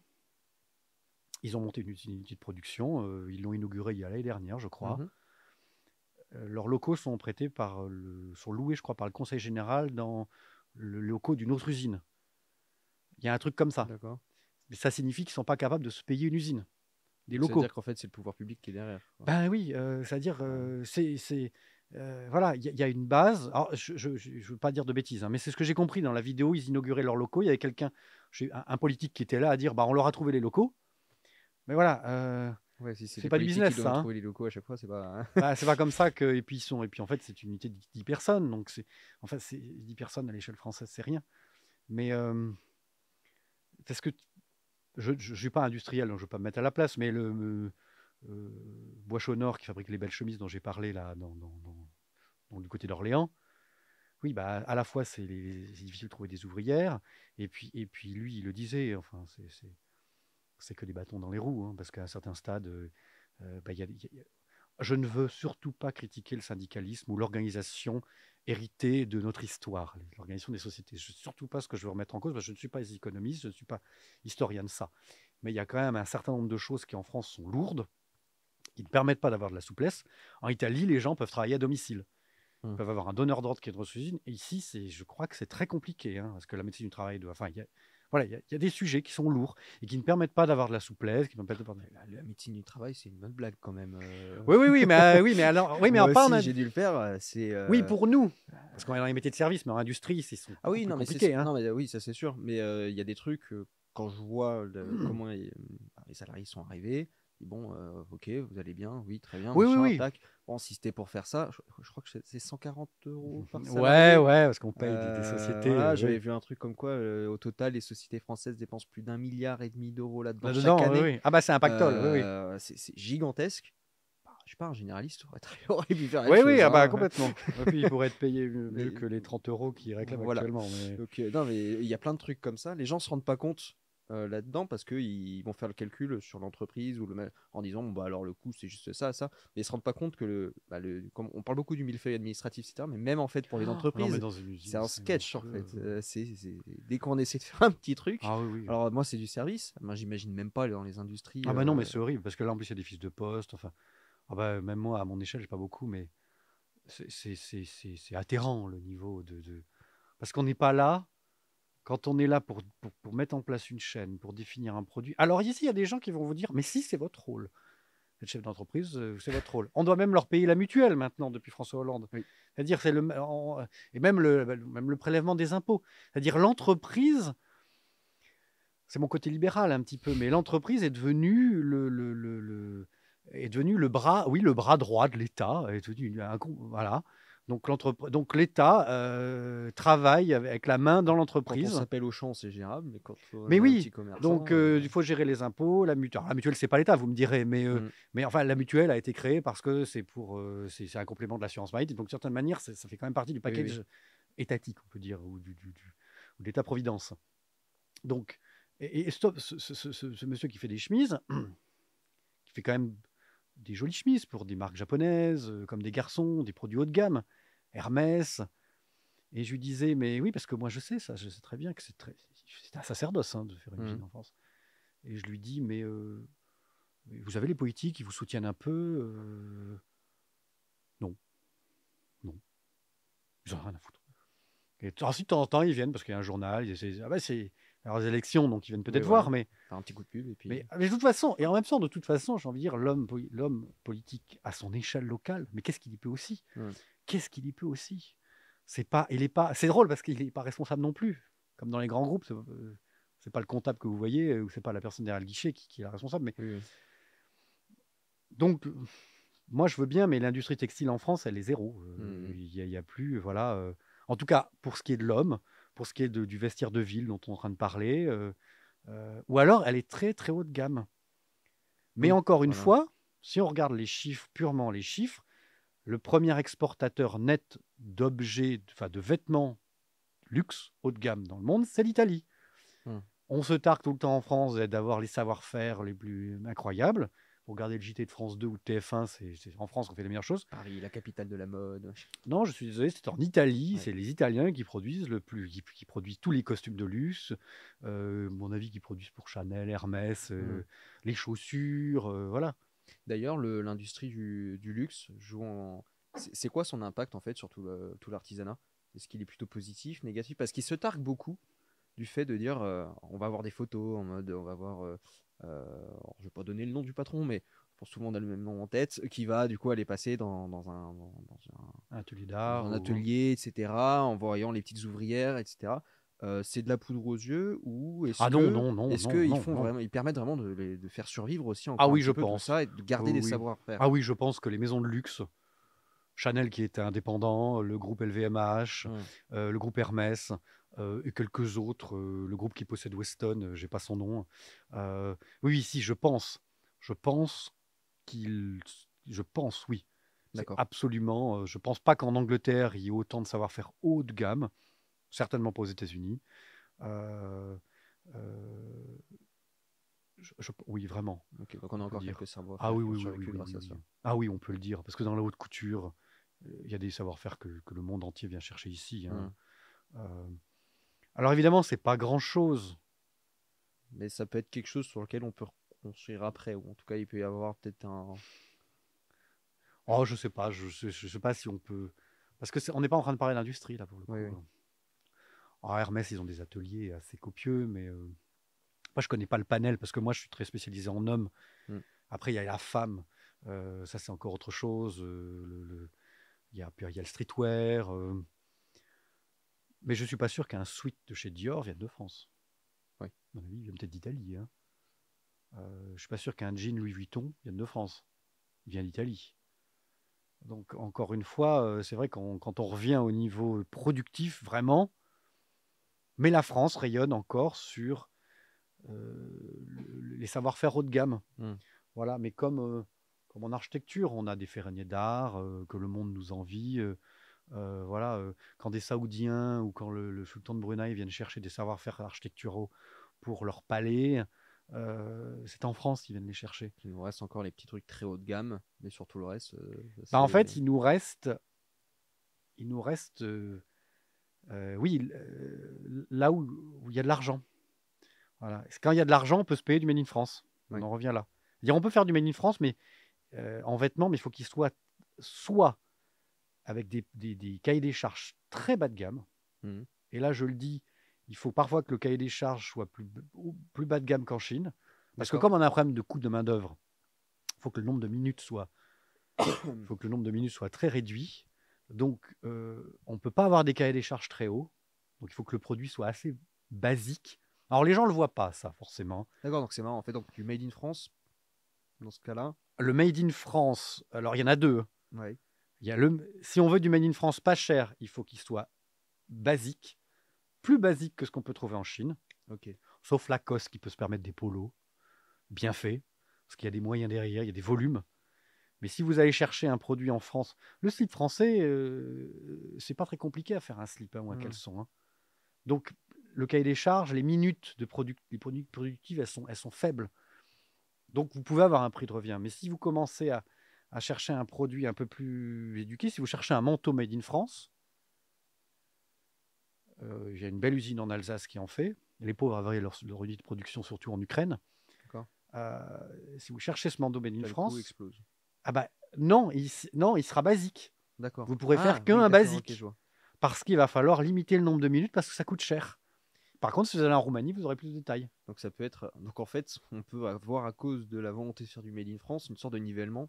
Bah, soit on est bas, parce que ça permet de sortir un coût, ça permet de d'être à un prix de marché, D'accord. soit il faut être très haut. Et donc dans ce cas-là, ça veut dire que si on regarde par rapport au prix de marché, le Made in France, s'il s'aligne sur le prix de marché, n'est pas un gage de qualité. donc, Ah, pas du tout. Donc, Ah, ça pas peut du être- tout. Ça peut être l'inverse en fait. Ah, c'est ce qu'il faut bien mettre dans la tête des gens. Ah oui. Le Made in France, euh, si vous cherchez un chino Made in France, alors encore une fois, c'est discutable. Parce que quand, euh, par Ça exemple, va être au cas par cas. quoi. Ouais, parce que 1083, quand ils cherchent à faire un chino, je pense qu'ils l'ont tellement travaillé pour, pour le faire rentrer dans l'outil productif qu'ils Mm. ont dû quand même faire les choses. Mais c'est vrai que de manière générale, quand on cherche un produit made in France, euh, il n'est pas toujours très qualitatif.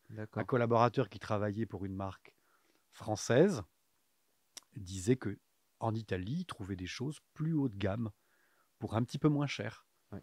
Mais qu'en France, à cause du prix Ah bah ça je le vois moi Voilà. en italien, je peux, euh, je, peux Oui. en, je peux en attester, j'ai eu la, à Rome, euh, c'est complètement fou. hein. Bah voilà, c'est, c'est- c'est- et en Portugal, en partie aussi, en Mm. Espagne aussi.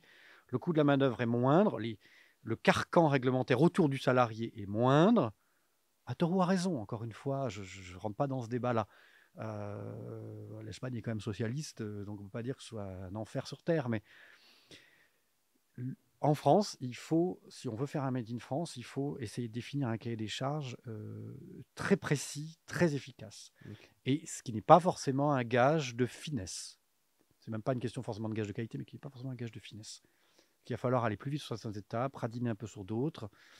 Et, et par contre, en France, on peut faire du très haut de gamme. Donc c'est là qu'on va aux maisons de luxe, qui ont une capacité à soutenir. Parce que, euh, et c'est pas, et c'est pas pour des Français en plus. Oui. Pour des étrangers. Oui. Il y a beaucoup d'argent à l'étranger. En tout cas, c'est très intéressant.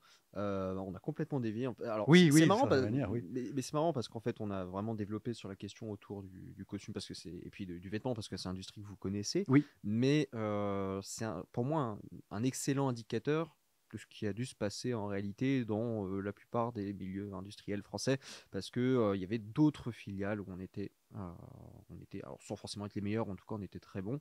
Aujourd'hui, bon, on existe littéralement Ah, plus. ouais, ouais, oui, je sais. Donc, c'est lamentable. hein. Il doit y avoir un. Effectivement, c'est très intéressant de regarder un petit peu l'histoire euh, les euh, les Français l'ont voulu française. Les Français l'ont voulu Ouais.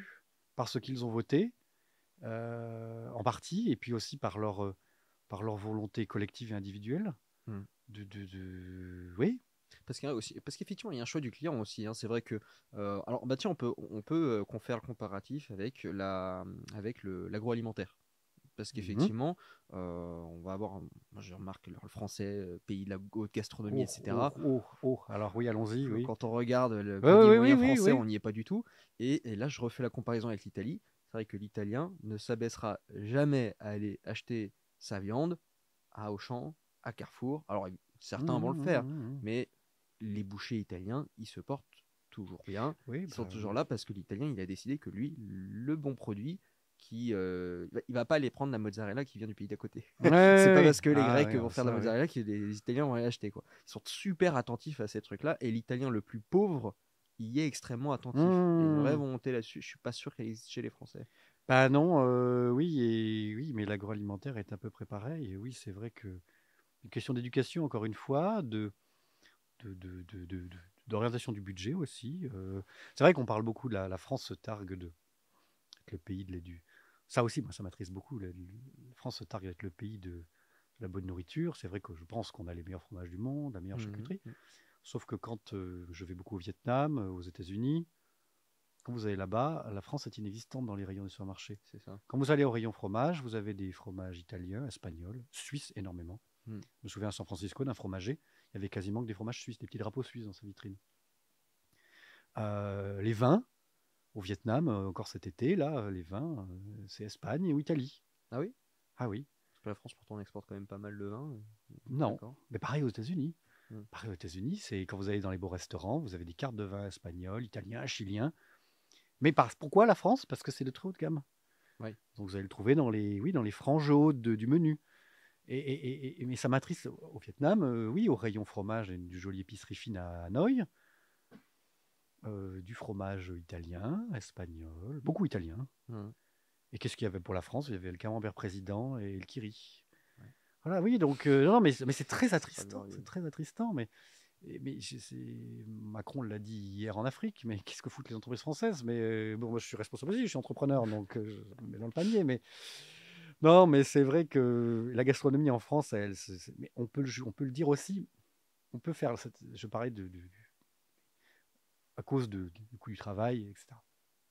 Pourquoi les boulangers pourquoi les boulangers font les croissants, les pains au, les raisin, les pains, enfin tous ces trucs-là? Pourquoi ils achètent tout fait à des industriels? Pourquoi quand ils vendent une quiche, euh, bah, ils l'ont acheté à Rungis euh, bah, Je les comprends, moi. Alors il y a des gens qui s'offusquent. Oh, vous vous rendez compte mon- J'avais une vidéo sur YouTube que j'ai vue hier soir. Pour mon, mon, mon- mon pâtissier me cherche du, du- du surgelé.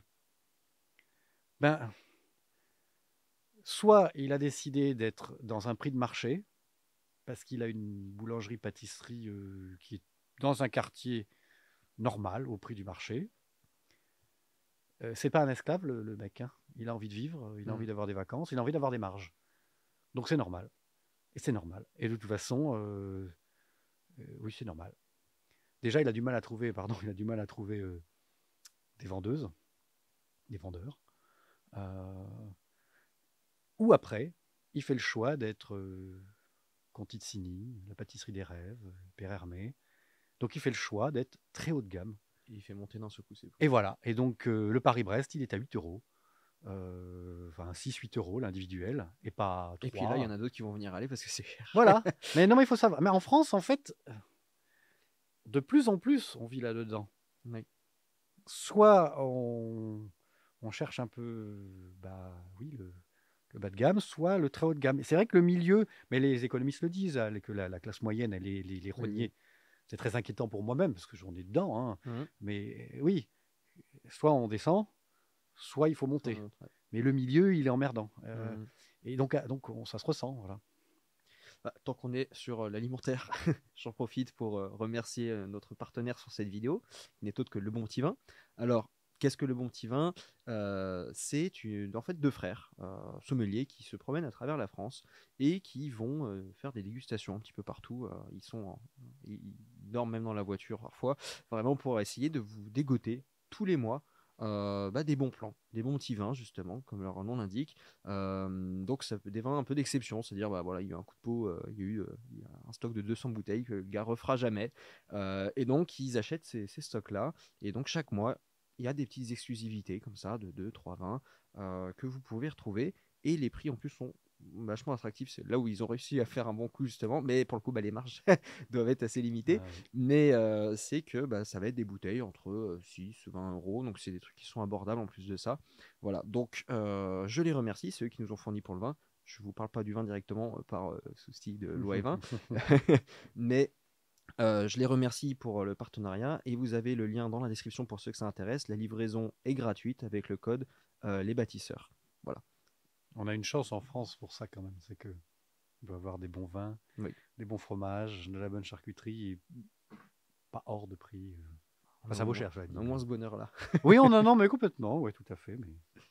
Euh, donc, on a fait une bonne digression, mais en tout cas, c'était passionnant. Et euh, voilà, je leur dis, c'est vraiment, ça nous permet d'avoir un prisme de lecture sur l'industrie française de manière générale, je pense. Euh, D'ailleurs, dites-moi en commentaire ce que vous en avez pensé de cette séquence-là, et si vous trouvez que ça pourrait être intéressant d'avoir peut-être de- des artisans dans d'autres domaines ou des chefs d'entreprise dans d'autres industries qui pourraient être, euh, pourraient avoir un discours aussi euh, assez intéressant sur ce qui s'est passé très précisément dans ces industries, pourquoi sont dans cet état. Quoi. On aimerait, on aimerait interviewer, enfin, on aimerait, euh, on aimerait rencontrer la personne qui a une usine avec 1000 personnes en France.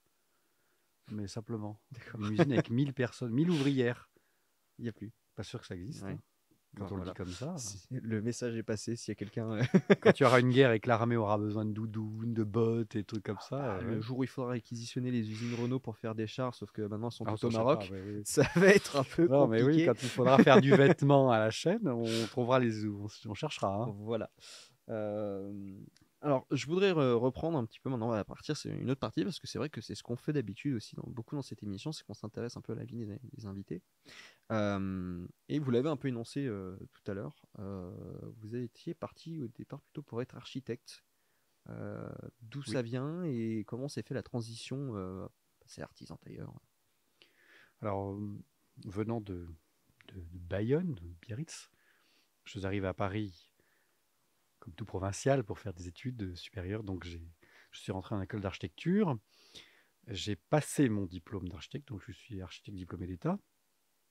Mais au cours de la, du master, en fait, puisque ça fonctionne par licence master, j'étais dans un département de- d'études euh, qui était euh, avec des professeurs, co- comment dire, comment le dire euh, bien, avec des professeurs, euh, des postmodernes, des déconstructivistes, qui euh, orientaient, enfin, structuraient toute leur euh, pensée architecturale autour euh, d'auteurs que certains connaîtront probablement peut-être, beaucoup ou moins, Derrida, Foucault, Deleuze, Foucault qui, Voilà. Foucault qui voulait raser euh, une partie de Paris, non euh, Le Corbusier qui voulait Ah, C'était le raser Corbusier, Paris, euh, exactement. Voilà. Donc des écrivains, en tout cas trois écrivains, j'ai cité du déconstructivisme et de la pensée postmoderne. Donc moi j'ai passé deux ans de master à souffrir. Une fenêtre n'est pas une fenêtre, une porte n'existe pas, une colonne ça ne veut rien dire. Mm. Euh, pas de pas de présupposés, pas de préacquis. Euh, la tabula rasa d'une certaine manière que, qui, maintenant déferle sur l'université et, sur la vie politique, le, le- qu'on appelle le wokisme, c'est-à-dire ne- ne- l'homme nouveau. euh, en- mais de toute façon, c'est toujours. De toute façon, ça fait de- de- dans les années 30, c'était déjà la même chose. L'homme Mhm. nouveau, euh, il faut abattre les anciennes pensées. c'est toujours la même chose. Mais donc moi, je suis passé par un master comme assez comme ça, où j'ai quand même eu des choses assez sidérantes, c'est-à-dire en jury, où je présentais des plans et des coupes, et de me, sou- de, de me souvenir de professeurs me, me saquant parce que euh, vous n'êtes pas là pour ça. Vous- Ça, ça, vous le faites dans vos stages, vous le faites euh, dans vos études, mais vous n'êtes pas là pour ça. En école d'architecture, vous n'êtes pas là pour dessiner des plans. Et donc, euh, Vous êtes là pourquoi, du coup? bah, je, bah, on se demande si par. bon, pour- pour- alors, je suis pas à ce point-là. euh, je ne veux pas dire, je suis pas à ce point-là contre ce que j'ai appris, mais euh, on est là aussi pour ça, mais on est là aussi pour réfléchir, certes. En fait, leur son idée, lui, c'était de dire vous êtes là pour, pour- pour structurer une pensée, voilà, pour nous Mm. l'expliciter.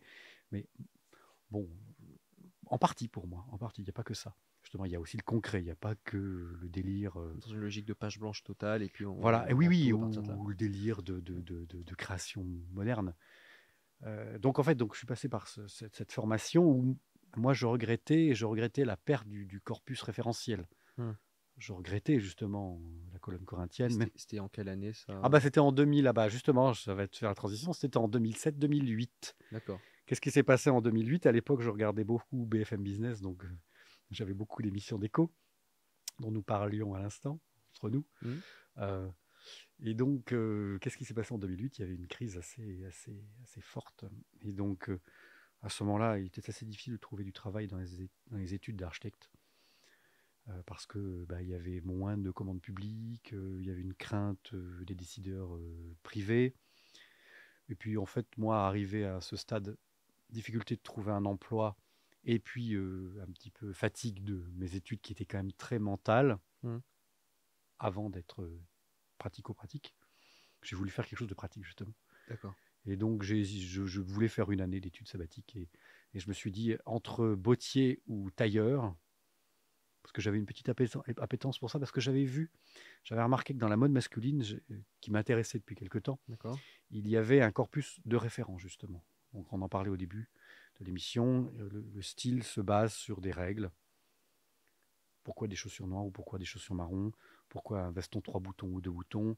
Donc, j'avais repéré un peu ça dans la mode masculine. Et ça vous venait d'où euh, cette appétence-là? Oh, euh, naturellement, quelque chose qui, qui est apparu. Ça vous euh, a pris comme ça?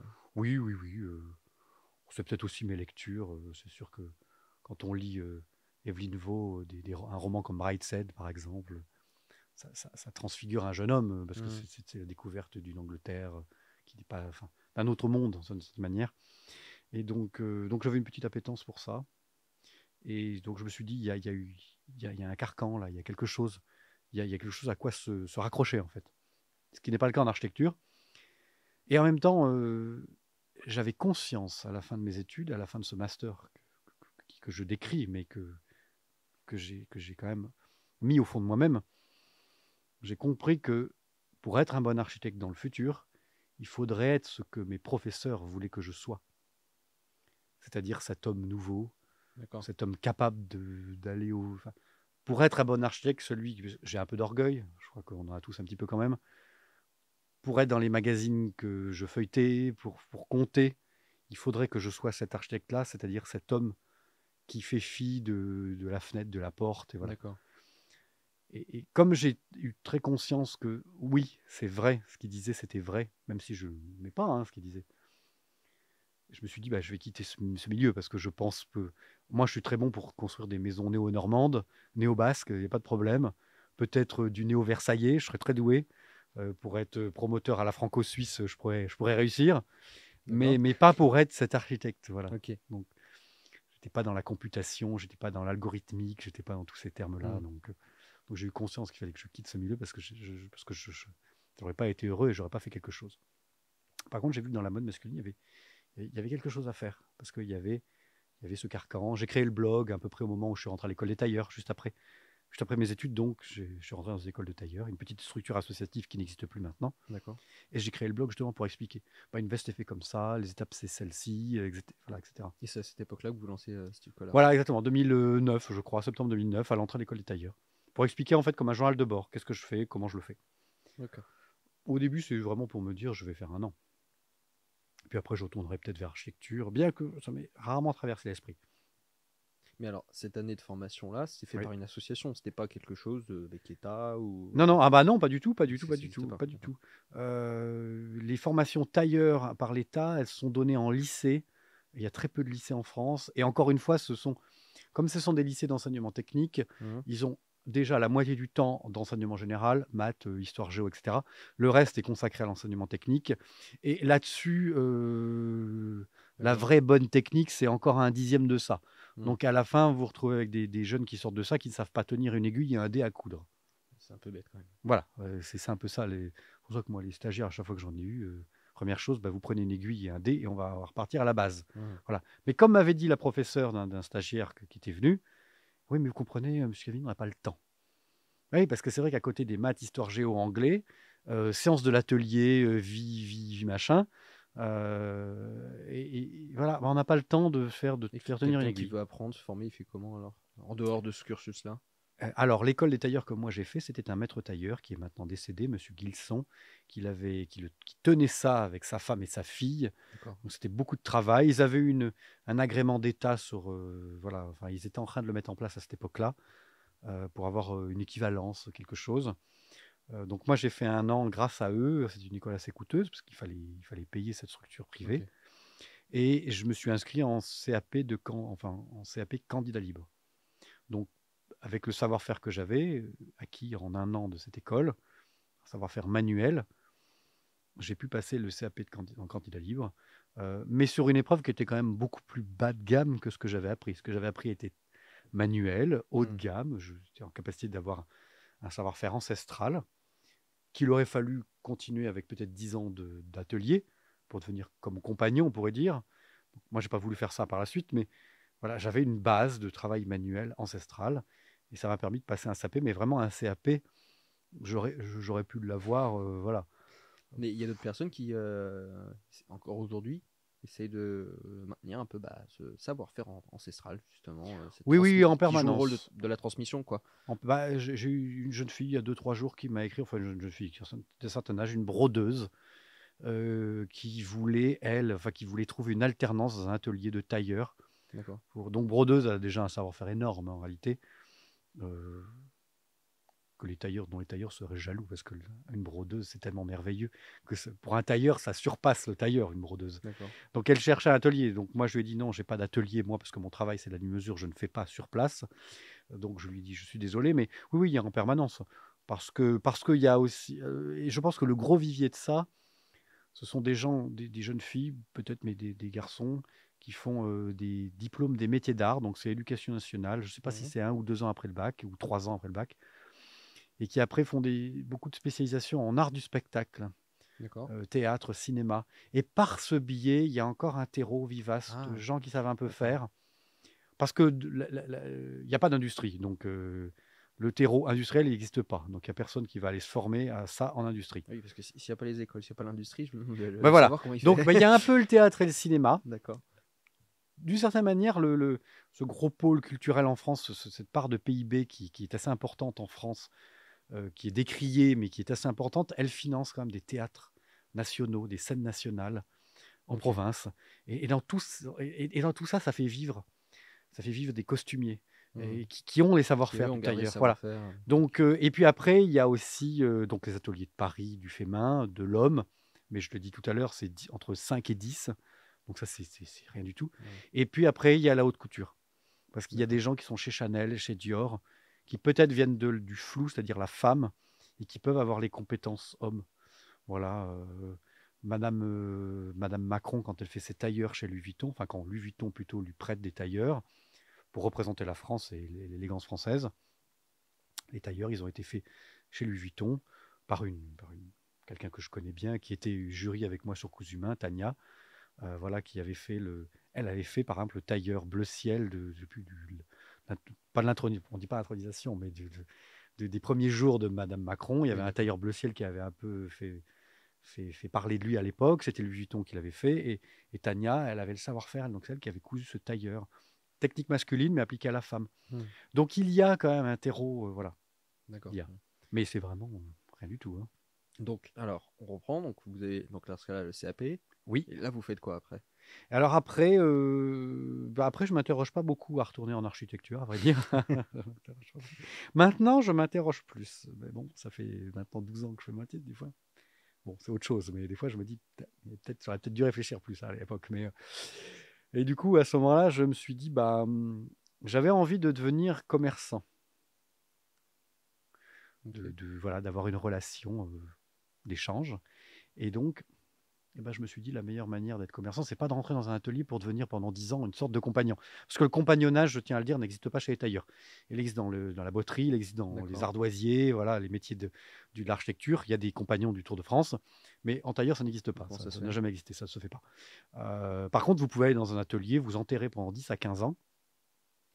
Mais là, de toute façon, c'est pas parce que vous aurez passé 10 à 15 ans dans un atelier que vous pourrez vous installer tailleur parce que le métier, le, métier, c'est-à-dire l'exercice commercial du tailleur fait main, il est tellement faible mmh. que pour trouver des clients, euh, c'est pas parce que vous aurez 15 ans d'atelier que demain vous allez trouver des clients.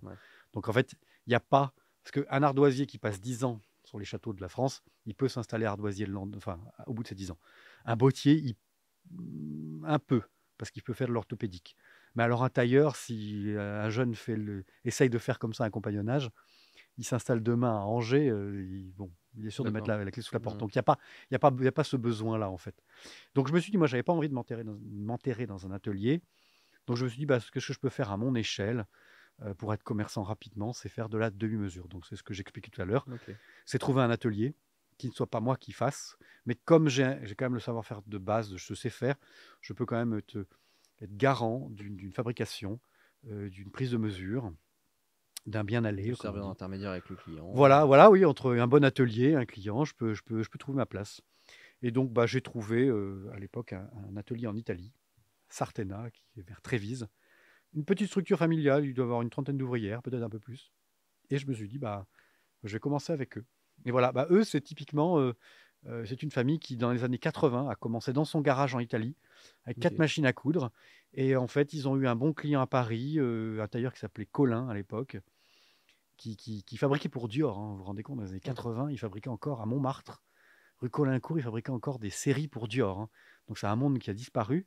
Et, lui, bah, il a justement dans les années 80, ce Colin ou fin 70, mais je penche plutôt dans les années 80, euh, cherchait, justement à fabriquer parce qu'il n'arrivait plus à fabriquer sur Paris. C'est ce qu'on m'a raconté parce que j'étais pas à l'époque j'étais pas né. Donc il m'a raconté, euh, enfin on m'a raconté, oui. Donc il avait des ouvrières, il fabriquait des séries de vestes hein, pour Dior. Et puis à un moment donné, bah, il avait plus les ouvrières probablement, il avait plus le savoir-faire sur place, il avait plus l'âge peut-être. Donc il a cherché en Italie euh, un endroit et il a trouvé cette famille, les Sartena, euh, dans le nord de l'Italie, à Trévise, dans leur garage, qui cousaient des vestes. C'est très artisanal, ça. C'est vraiment. Euh, et, du coup, bah, moi, j'ai trouvé cette famille Sartena et puis bah, j'ai commencé à voilà, je leur ai acheté des gabarits, je, suis allé me faire former, voilà, une journée, savoir quelles sont les spécificités de cet atelier, comment on prend les mesures, comment on renseigne mmh. les différentes attitudes, les différentes problématiques d'épaule, etc. Et, et, bah ensuite, je me suis lancé, euh, voilà. D'accord. Grâce au blog aussi. Euh. Oui, ça vous a servi pour euh, créer une base de clientèle. Exactement. C'était un peu un pan, je pense que dans 50 ans, les historiens, ou dans un siècle, ils remonteront ça, mais ça a été un pan à un moment, le, le, blog, le blogisme, je ne sais pas si mmh ce néologisme peut exister, mais ça a été un pan ça, de l'Internet hein, qui, qui est mort maintenant. Hein.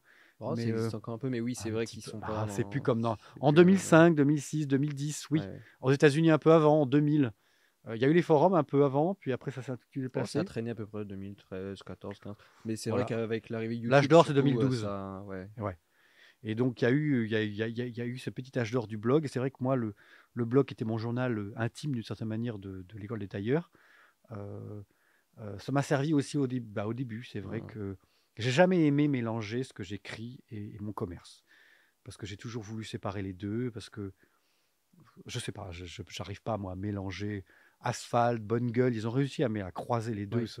Pour ceux qui ne connaissent pas, ce sont deux marques euh, qui ont quand même pignon sur rue sur Internet, qui ont réussi à mélanger contenu et, et, vente.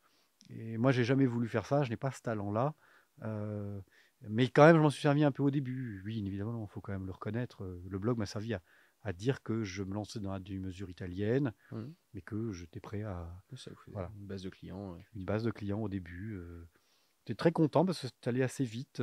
Évidemment, comme tout jeune qui se lance, euh, je j'ai pas réussi tout comme je l'aurais voulu, mmh. comme je le voudrais maintenant. Vous avez fait quoi comme erreur euh? Oh bah il y a eu des, choses sur des clients que j'aurais pas voulu, que, que, que, je regrette, qui mmh. n'étaient pas. Mais bon, comme tout jeune qui se lance, il faut bien que comme le monsieur qui m'a formé, monsieur Gilson, qui est à l'école des tailleurs, lui me l'a dit aussi. Lui, quand il s'est installé fin des années 50, bah lui aussi, il a raté des costumes au début. Hein. Voilà, il n'a pas tout réussi comme il fallait parce que, bah, parce que quand on est jeune, bah, euh, comme vous probablement dans, votre activité professionnelle, on, ne peut pas, quand on est jeune et quand on a 30 ans, 25 ans, qu'on se lance, on ne peut pas réussir comme quand on a 45. C'est normal. Donc, à la fois, je le regrette et je m'en excuse auprès des clients de l'époque, mais euh, ça fait partie aussi du chemin, je pense, hein, de, de, tout jeune qui se lance. Hein. Et un conseil que vous donneriez à un jeune euh, qui, qui, voudrait se lancer? Ah, ben, euh, moi, je me suis lancé très, très bille en tête. Après les études, pas, j'ai jamais travaillé, à part en, en mmh. études d'architecture. Je travaillais dans des cabinets, mais j'ai pas travaillé, j'ai pas travaillé dans, dans, le textile. Donc, un jeune qui voudrait se lancer dans le textile, je lui dirais probablement avant, va travailler dans le textile pendant deux à trois ans. On mmh. verra ce que c'est le textile. C'est dur. C'est dur, c'est pas facile. C'est, Avec la restauration. Vous avez senti que c'est un truc qui vous avait manqué quand vous êtes euh, lancé euh? Maintenant, je le regrette. Mmh. Euh, pour tout un tas de raisons. Mais et, en partie, je ne, je ne regrette pas non plus tout. Mais je pense que c'est le textile et la restauration, c'est ce qu'il y a de pire. D'accord. Ce sont les deux métiers. Il n'y a pas que moi qui le dis. Hein. enfin, moi, je l'ai lu, on me l'a dit. Le textile et la restauration, c'est ce qu'il y a de pire. Les restaurateurs vous le diront tous, parce qu'ils n'ont pas de vie. Et le textile, parce que vous vous confrontez à la personne, au corps de la personne, à son, son regard dans son miroir, donc à, mmh. une complication de, commerciale. Et puis, puis le produit en lui-même, il est compliqué, très compliqué à produire, à vendre, à entretenir. Les gens viennent vous revoir parce que le pantalon a craqué. Enfin, y y a... c'est compliqué, c'est très difficile. Ok. Donc euh, un jeune devrait. J'ai eu un jeune justement qui travaille pour moi. Euh, et euh, je ne sais pas son nom, mais il se reconnaîtra. il est venu, il est venu de, la fonction publique, on va le dire comme ça, au sens mmh. large. après deux ans passés là-dedans, ça l'a gavé. Et il voulait devenir tailleur. moi, je n'avais rien à lui donner à faire parce que je n'ai pas d'atelier, encore une fois. Donc, mais j'avais besoin d'un vendeur pour ma petite section prêt-à-porter. Et je dis, bah, tu te poses là et puis tu vas aider parce qu'au prêt-à-porter, on avait besoin de monde, il y avait beaucoup de clients, bah, tu te poses et tu aides. Donc ça fait trois ans maintenant qu'il est là, bah, euh, au mois de décembre, il repart dans la fonction publique. D'accord. Voilà, il m'a dit, euh, voilà. Je, lui ai appris un petit peu le tailleur au début. Quand il était là, il faisait pas que le vendeur, je lui, je lui ai appris un peu à tenir une aiguille, à tenir du fil, à faire quelques exercices, mais, mais très vite, il a vu ce que c'était. Il a vu l'envers du corps. Ce n'est pas que un rêve, c'est pas qu'une image d'épinal merveilleuse. C'est très très dur parce que parce qu'il y, a le, il y a le client en fait comme disent tous les commerçants. Dans le commerce, s'il n'y avait pas de clients, ce serait formidable. donc, euh, donc bah, il repart en fonction après trois ans. Donc, c'est un conseil que je pourrais donner à tous les jeunes qui veulent devenir tailleurs ou qui trouvent ça formidable. Vous avez déjà trouvé un petit poste dans une boutique qui vend du beau prêt-à-porter en province ou à Paris, mais c'est plus facile en province. Vous allez travailler là, vous allez voir ce que c'est qu'un client, ce que c'est qu'un samedi où vous allez vous faire marcher dessus parce que en semaine vous foutez rien, puis le samedi il y a des clients comme s'il en pleuvait, et puis que c'est pas facile, il faut aller euh, au four au moulin. Oui, parce que le tailleur, il peut pas rester planqué derrière. Euh, et non, non, non, non. Il y a forcément le lien avec le client. Le seul, j'avais fait une conférence il y a, quelques années là-dessus, et j'avais dit le, les seuls qui peuvent se permettre d'avoir à la fois le métier d'art et la tranquillité, ce sont les gens qui sont dans, dans les, dans les beaux-arts. C'est-à-dire mmh. un doreur sur cadre. Bon, il a des clients, d'accord, mais un doreur sur euh, boiserie, voilà, il est dans son atelier, il va être tranquille. Euh, un restaurateur de tableaux peut-être aussi. Euh, L'income est peut-être un peu plus petit par contre. C'est vrai que dans le textile, on peut gagner sa vie quand même. On peut le reconnaître. Mmh. Et qu'est-ce qui vous plaît plus euh, dans ce que vous faites aujourd'hui? Ah, Ça, c'est une bonne question. La variété quand même. C'est-à-dire que chaque journée est différente. je ne suis pas tout seul. Donc j'ai des collaborateurs, très importants. Mmh. Je ne suis pas tout seul dans mon bateau, donc je ne suis pas tout seul à déprimer, à avoir des, des, phases de, voilà, de joie et de déprime. Euh, on est plusieurs. Quand il y a un truc chiant, on peut se le passer. Quand il y a un client difficile, on peut... Voilà. Donc euh, je, ce qui est très agréable, c'est de ne pas être en charge, en, charge mentale unique. Je ne suis pas en responsabilité mentale de tout ce qui se passe dans la boutique. Il y a une osmose avec mon équipe qui se passe très bien. Chaque jour est un peu différent. Il y a un peu de tout, euh, du costume de travail, du costume de mariage, quelqu'un qui vient se faire plaisir pour une belle veste. Le client parfait pour vous, celui qui vous fait le plus plaisir, euh, c'est lequel? Ah, alors je vais faire des jaloux si je dis ça, donc il ne vaut mieux pas y répondre, mais j'ai envie de dire que la personne qui dit euh, Oh, moi je viens pour le travail, je un costume bleu, puis au bout de deux minutes, le costume de tissu bleu est choisi, c'est formidable. D'accord. Voilà, ça c'est. voilà, mais ça va faire des jaloux, mais. voilà, c'est sûr que le client qui met deux heures à hésiter entre, entre ce bleu ou ce bleu, c'est mais qu'est-ce que vous pensez de ce bouton ben, J'en pense rien, c'est un bouton, hein, mais il y, a, y, a, y, a, y, a des difficultés, mais bon, ouais, on va pas pleurer. Après, ce qui, ce qui, les, le, le, à la fois, il y a le bonheur qui est cette variété quand même, même si j'ai des confrères qui sont un peu gavés parce que c'est toujours la même chose. Hein. Vous voulez quoi ben, Un costume bleu, d'accord, avec quelle doublure C'est toujours quand même un peu la même chose. Mais après, il y a aussi le. Il y a, y a, y a ça, c'est l'avantage. Donc, je disais, le, la différence est tous les jours.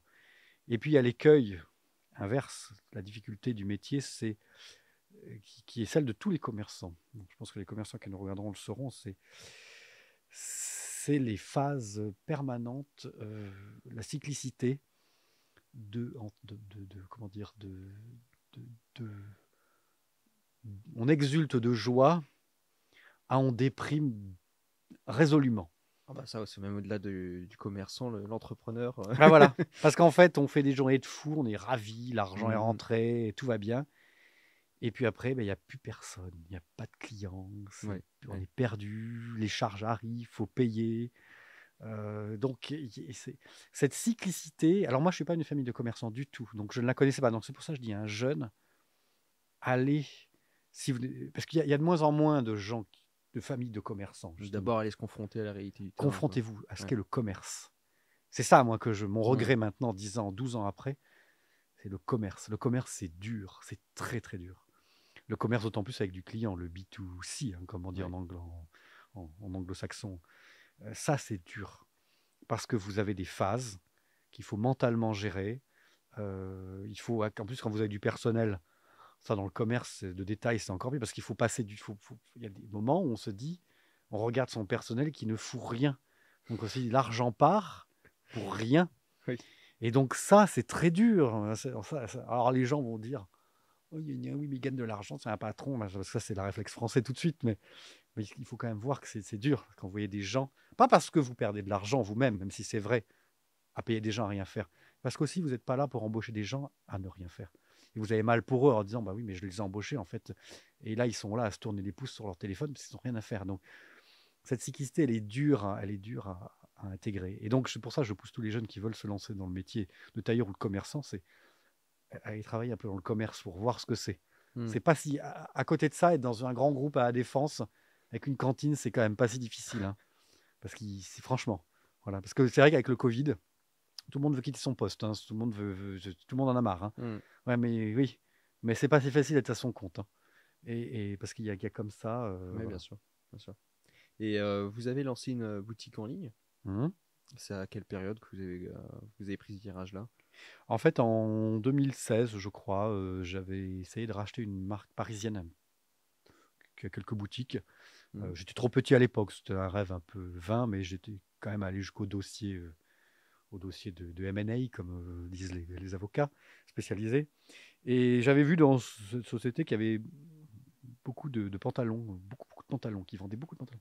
Je me suis dit, bah tiens, il faut. Moi, justement, c'est un écueil parce qu'en en mesure, on vient pas beaucoup me demander du pantalon de velours, du chino. Et je me suis dit, bah justement, là, je peux répondre à la demande. Donc je me dis, bah, je vais lancer une, gamme prête-à-porter uniquement dédiée aux pantalons. Et je me suis dit, bah, j'avais quand même bien appris mes études d'architecture, encore une fois. il faut prendre le train en marche de la modernité quand même un petit peu, parce que je ne suis pas moderne dans l'exercice du tailleur, mais peut-être prendre le train de la modernité sur la vente de prêt-à-porter, et c'était celle de donc la vente en ligne. Je me suis dit, bah, faut mettre les deux pieds dans la vente en ligne. Donc j'ai essayé de fusionner les deux, à la fois ouvrir une boutique, une branche prêt-à-porter, et la faire en vente en ligne. D'accord. Voilà. Vous avez fait comment euh, euh, pour mettre ça en place directement? Eh ben, j'avais un associé à l'époque qui, qui, qui bah, grâce à lui, en réalité, euh, ingénieur textile, a monté toute la société de A à Z, a tout fait. je m'en suis pas beaucoup occupé, à vrai dire, de manière exécutive. D'accord. par contre, j'ai dessiné les, les, collections, je choisissais. Mmh. j'ai donné le, le, lead, comme on dit, et après, il mettait, lui était le chef d'orchestre, il mettait il faisait l'orchestration plutôt. J'étais le chef d'orchestre il faisait l'orchestration. D'accord. Et euh, bah en fait, c'est pas très compliqué. Il suffit d'ouvrir euh, entre guillemets un site internet, faire des jolies photos et mettre les produits en ligne. Ça, c'est pour la base. Après, il y a le, après, il y a le vrai, ce qui est aussi la relation client, mais en fait, mmh. les... ah ouais, alors là, c'est là quoi, voilà. Les gens, les gens oublient quand ils se lancent sur le e-commerce, à faire vendre, etc. Et le client, il est toujours là. et eh ben, oui, exactement, tout à fait. On croirait qu'on pourrait être aux Seychelles et puis ça clique et puis voilà, il n'y a plus rien à faire. Eh ben en fait, je crois maintenant, mais c'est ce que tout le monde découvre un petit peu de manière très dure là. Tout le monde le découvre après le Covid, avec cette guerre aussi en Ukraine le paradigme des années 2000 à 2000, voilà 2000, 2005, on va dire 2005 à 2015, le paradigme, mmh. ça a été, tout, tout va être la vente en ligne. Allez, hop, il n'y a, plus de, a plus de physique, c'est bon, tout est en ligne. En fait, je pense que le paradigme qu'on est en train de découvrir euh, un petit peu là, maintenant, bah, c'est qu'en fait, il y a un retour du physique. C'est-à-dire que là, euh, les derniers mois ont été très durs sur la vente en ligne, chez tout le monde. Hein. Par contre, les boutiques ne se sont pas si mal portées, malgré des soldes compliqués. Euh, il y a une appétence pour les gens de se promener et de rentrer dans une boutique et d'acheter. Euh, et donc la vente en ligne a quand même souffert. Euh, d'ailleurs, le, taux, les taux de vente, je crois, à l'automne avaient, été, avaient, baissé en ligne. Euh, et puis surtout, ce qu'on est en train de découvrir, moi je suis un peu à l'avant-poste de ça, mais ce qu'on est en train de découvrir, c'est que le, le, coût, le coût online, il est supérieur au coût physique. Et que demain, bah, demain, vous aurez une boutique dans n'importe quelle rue, vous mettez un mmh. vendeur, Ça vous coûte moins cher que faire un, e-shop. Parce que le e-shop, vous avez un coût de gestion du, produit, stockage. Après le stockage, le picking, c'est-à-dire l'expédition. Après l'expédition, éventuellement le retour. Ça a un coût. Et après, au-delà de ça, qui est la logistique pure, vous avez un coût euh, de, masse salariale à gérer. Il vous faut un webmaster qui gère votre site. Il vous faut des coûts photographiques, des coûts de, voilà, de tout ça.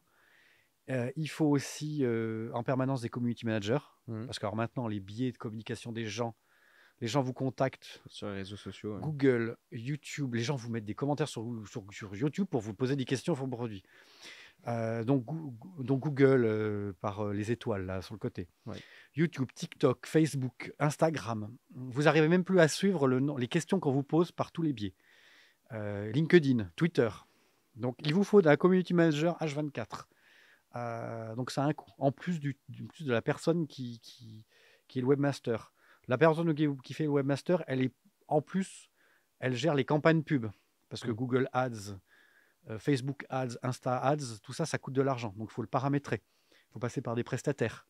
AdsUp, euh, Sprout Media, enfin voilà, tout ça, ça coûte de l'argent.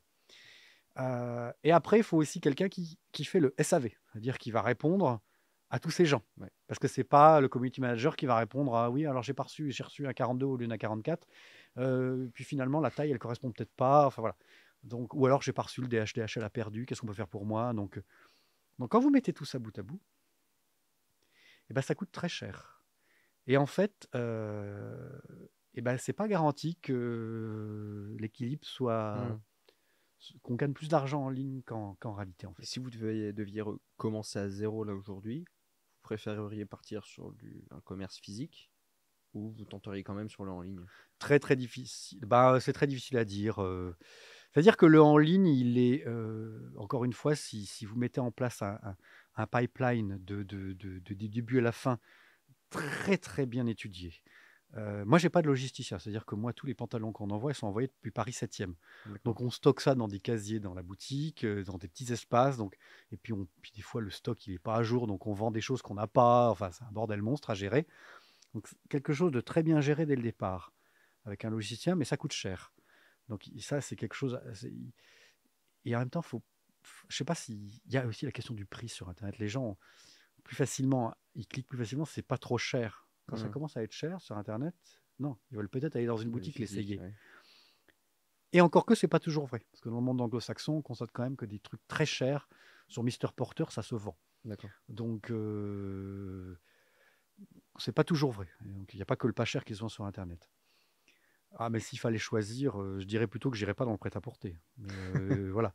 Parce que le choix entre le online et la boutique, il n'est pas facile à faire non plus. Parce qu'une belle boutique, ça peut-être aussi de la personne. Hein. Ouais, ça dépend de la personne. Mais mmh. le, c'est plutôt la question du prêt-à-porter. Très très dure. C'est plutôt celle-là que je me reposerai. Mais... Euh. D'accord. Donc dans ce cas-là, prêt-à-porter, vous éviteriez. Euh, ouais, parce que. C'est-à-dire que si vous faites du prêt-à-porter, mais pour faire 100 000 euros de chiffre d'affaires, ok, vous pouvez faire ça dans votre coin. Mmh. Mais quand vous commencez à être sur des vrais volumes qui permettent de gagner sa vie et de payer des gens, vous, vous entrez dans des problématiques de finance. Le prêt-à-porter, à un moment donné, ça n'est plus que ça, de la finance. Euh, vous devez payer votre stock des mois, voire un an à l'avance. Du coup, deux stocks, parce que un an à l'avance, ça veut dire qu'il y a deux saisons. Donc il faut paramétrer euh, beaucoup d'argent en amont. Il faut payer beaucoup de choses qui vont arriver plus tard. Donc il y a un décalage de BFR, comme on dit, euh, qui est complexe à gérer. Donc il faut beaucoup d'argent. Et, donc, vous pouvez le financer avec des, investisseurs ou des banques. Mais du coup, là, vous vous retrouvez à piloter de la marge dans un taux d'intérêt. C'est-à-dire, vous financez un stock euh, sur un crédit, soit un crédit obligataire, soit un crédit bancaire. Donc, vous avez un taux d'intérêt. Et après, là, la marge qui vous reste au bout d'un an, si vous vendez bien, parce que vous avez aussi le risque d'une guerre qui vous fait que vous ne vendez pas. Et, vous prenez une tôle, du coup, à mmh. ce moment-là. Donc, et c'est de plus en plus dur. Parce que globalement, il y a une surproduction textile dans le monde. Donc on ne manque pas de vêtements nulle part dans le monde. Donc il n'y a pas une demande de vêtements qui est énorme. Il peut y avoir une impétence dans certains créneaux. Il y a des très belles réussites hein, dans le textile autour de moi. Donc il y a des moyens de réussir. Hein. Mais il faut bien identifier le créneau, c'est pas si facile. Mais à la fin, vous vous retrouvez de toute façon à un certain niveau de volume, au-dessus d'un million d'euros. Quand vous arrivez au million d'euros, vous vous retrouvez à faire de la finance. Ouais. Et en fait, vous n'êtes plus dans le produit. euh, pour moi qui aime le produit, qui suis un homme de produit, vous vous retrouvez plus. En fait, il faut juste un financier. D'accord. Et, une marque textile de nos jours, ce que les gens ne voient pas, c'est qu'une marque textile, n'importe quelle marque textile, c'est de la finance. Hmm. Hackett, euh, Dior, euh, Ralph Lauren, ça n'est que de la finance. Le produit, c'est le produit, c'est évidemment c'est l'objet de base, mais c'est pas l'objet principal. Quelqu'un qui se lance dans, le- dans ce projet-là avec l'amour du produit uniquement, Ah bah non, euh, bah non, faut qu'il s'y prépare quoi. Bah non, non. Justement, Mm. quand on est un- quand on est homme produit comme moi, euh, hélas, euh, c'est pas. euh, Non, non, non, non. Il faut s'associer avec un financier. D'accord. Hélas, c'est à un moment donné, à un certain stade, c'est ça. Et et c'est compliqué à vivre quand on est un homme de produit, parce que parce qu'on aime les belles choses, qu'on a envie de les payer cher. À un moment donné, non, il faut piloter sa marge. Il faut acheter le tissu à tel, à tel, à tel, à tel coût, il ne faut pas dépasser la virgule, euh, Hmm. parce que parce qu'il faut faire très attention. Parce que les marges ne sont pas non plus... On ne va pas non plus vendre un produit avec une marge de 6, 8 comme les marques de luxe. Ouais. Donc on est obligé dans des marges plus raisonnables, et dans les marges plus raisonnables, il faut faire attention. Elles sont à peu près à combien en général les marges euh, en prêt-à-porter? Euh, En prêt-à-porter moyen, euh, type. euh, si, euh, comment le dire, si une, si une marque veut faire du wholesale, c'est-à-dire si elle veut vendre à un détaillant, Hmm. c'est-à-dire lui laisser une marge aussi à lui, il faut que la marge soit de 5, minimum. Si on vend en direct, il faut que la marge soit de 4. Mais moi, je suis pas, on n'est pas à des marges de 4, nous, on est en dessous. Et je pense qu'il y a beaucoup de marques qui se sont lancées sur Internet. C'est ça aussi qu'il y a un changement de paradigme maintenant. C'est qu'on a pensé que par Internet, on allait pouvoir vendre un produit en direct de l'usine sans marge. C'est-à-dire, on a pensé, ça fait 2000 ans qu'on ne pense pas ça, mais on a pensé en 2010 que grâce à Internet, on allait abaisser les coûts de structure et qu'on allait pouvoir vendre sans marge. Et ça, ça nous a infusé tous les jeunes. hein. Oui, sur la logique du dropshipping, etc. Voilà, ah bah, ça c'est aussi, voilà, exactement. On achète un produit, on le revend, même si on le fait fabriquer. Il y a plein de marques. Alors, comment ça s'appelait ça Les digital native vertical brand. Enfin, voilà, une marque qui est digitalement, euh, enfin, qui est née pour être sur Internet et qui fait du, du- producteur au consommateur. Mm. Donc, a- toutes ces marques-là se sont créées sur ce paradigme de. On n'a plus besoin de marge, en fait. C'est le monde nouveau. En fait, la marge, on s'en fout. euh, On vend directement, on n'a pas besoin de marge. Ben, en fait, non. On découvre avec cette guerre, avec l'inflation, qu'en fait, les, marges qui ont, les marques qui ont une marge, elles n'ont pas de stress sur la marge, comme on dit. Mm. Et comme dit euh, quelqu'un que je connais, que je connais bien, tu marges ou tu crèves. Parce que la marge, c'est un, un élastique, Un amortisseur. un amortisseur, euh, qui permet de ne pas être trop stressé. Et quand on est en dessous d'une marge de 4, ce qui est mon cas euh, pour mon prêt-à-porter, et pour beaucoup de marques, je pense, en ligne, eh ben, eh ben, je ne pense pas que ce soit l'idéal. Mm. Alors, il y, y a des exemples comme Bexley. Bexley a toujours été connu pour faire une marge de 2, enfin, dans ce Ouais. goût-là. Voilà, euh, 2 ou 3. Parce qu'en même temps, euh, vous vous achetez une paire, vous aviez une deuxième paire à moins 50%, mais en fait, il se rattrapait sur le volume, donc ça leur permettait de négocier des prix. Hmm. Donc, le modèle peut Il y a exister. du bidouillage à faire. Voilà, euh, Bexley, Bexley l'a montré. C'est une marque, marque qui, qui est bien née dans les années 2000, qui est extrêmement bien vendue avant le Covid. Donc, on a, l'exemple de, de, de réussites qui peuvent être basées sur peu de marge. Mais c'est très difficile. Et c'est encore plus de la finance. hmm. Alors, pour Voilà, le coup, euh, parce qu'il faut piloter encore plus fin. Ouais, il faut être comptable. euh. Voilà. Oui, oui, bah oui, c'est ça. Donc, euh, mais tout, derrière toutes les réussites de, de, de textile, derrière Lauren, il y avait des financiers. Derrière Hackett, il y avait un financier. Euh, derrière euh, Monsieur Goldberg qui avait créé Façonnable, il y avait un financier. C'est toujours. Là aujourd'hui, euh, je passe un peu du coq à l'âne, mais ça m'est venu comme ça.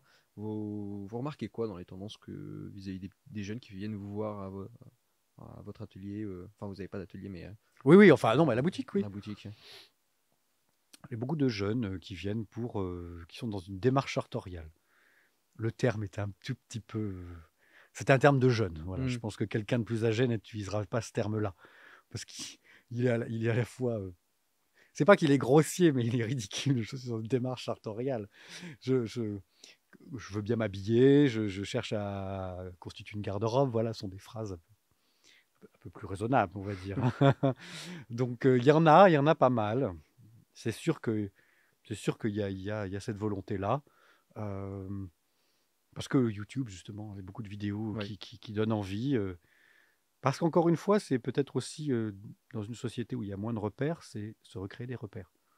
Mais je pense qu'Hugo vous en a beaucoup parlé de Bah ça. oui, on hein, en a voilà. beaucoup parlé, effectivement. Oui. Incontestable. Et il y a des, des, innovations particulières en ce moment dans l'industrie dans textile, etc. Alors, même si on n'en a plus en France, mais qui ont alors soit qui ont fait bouger les lignes récemment ou qui sont amenés à les faire bouger.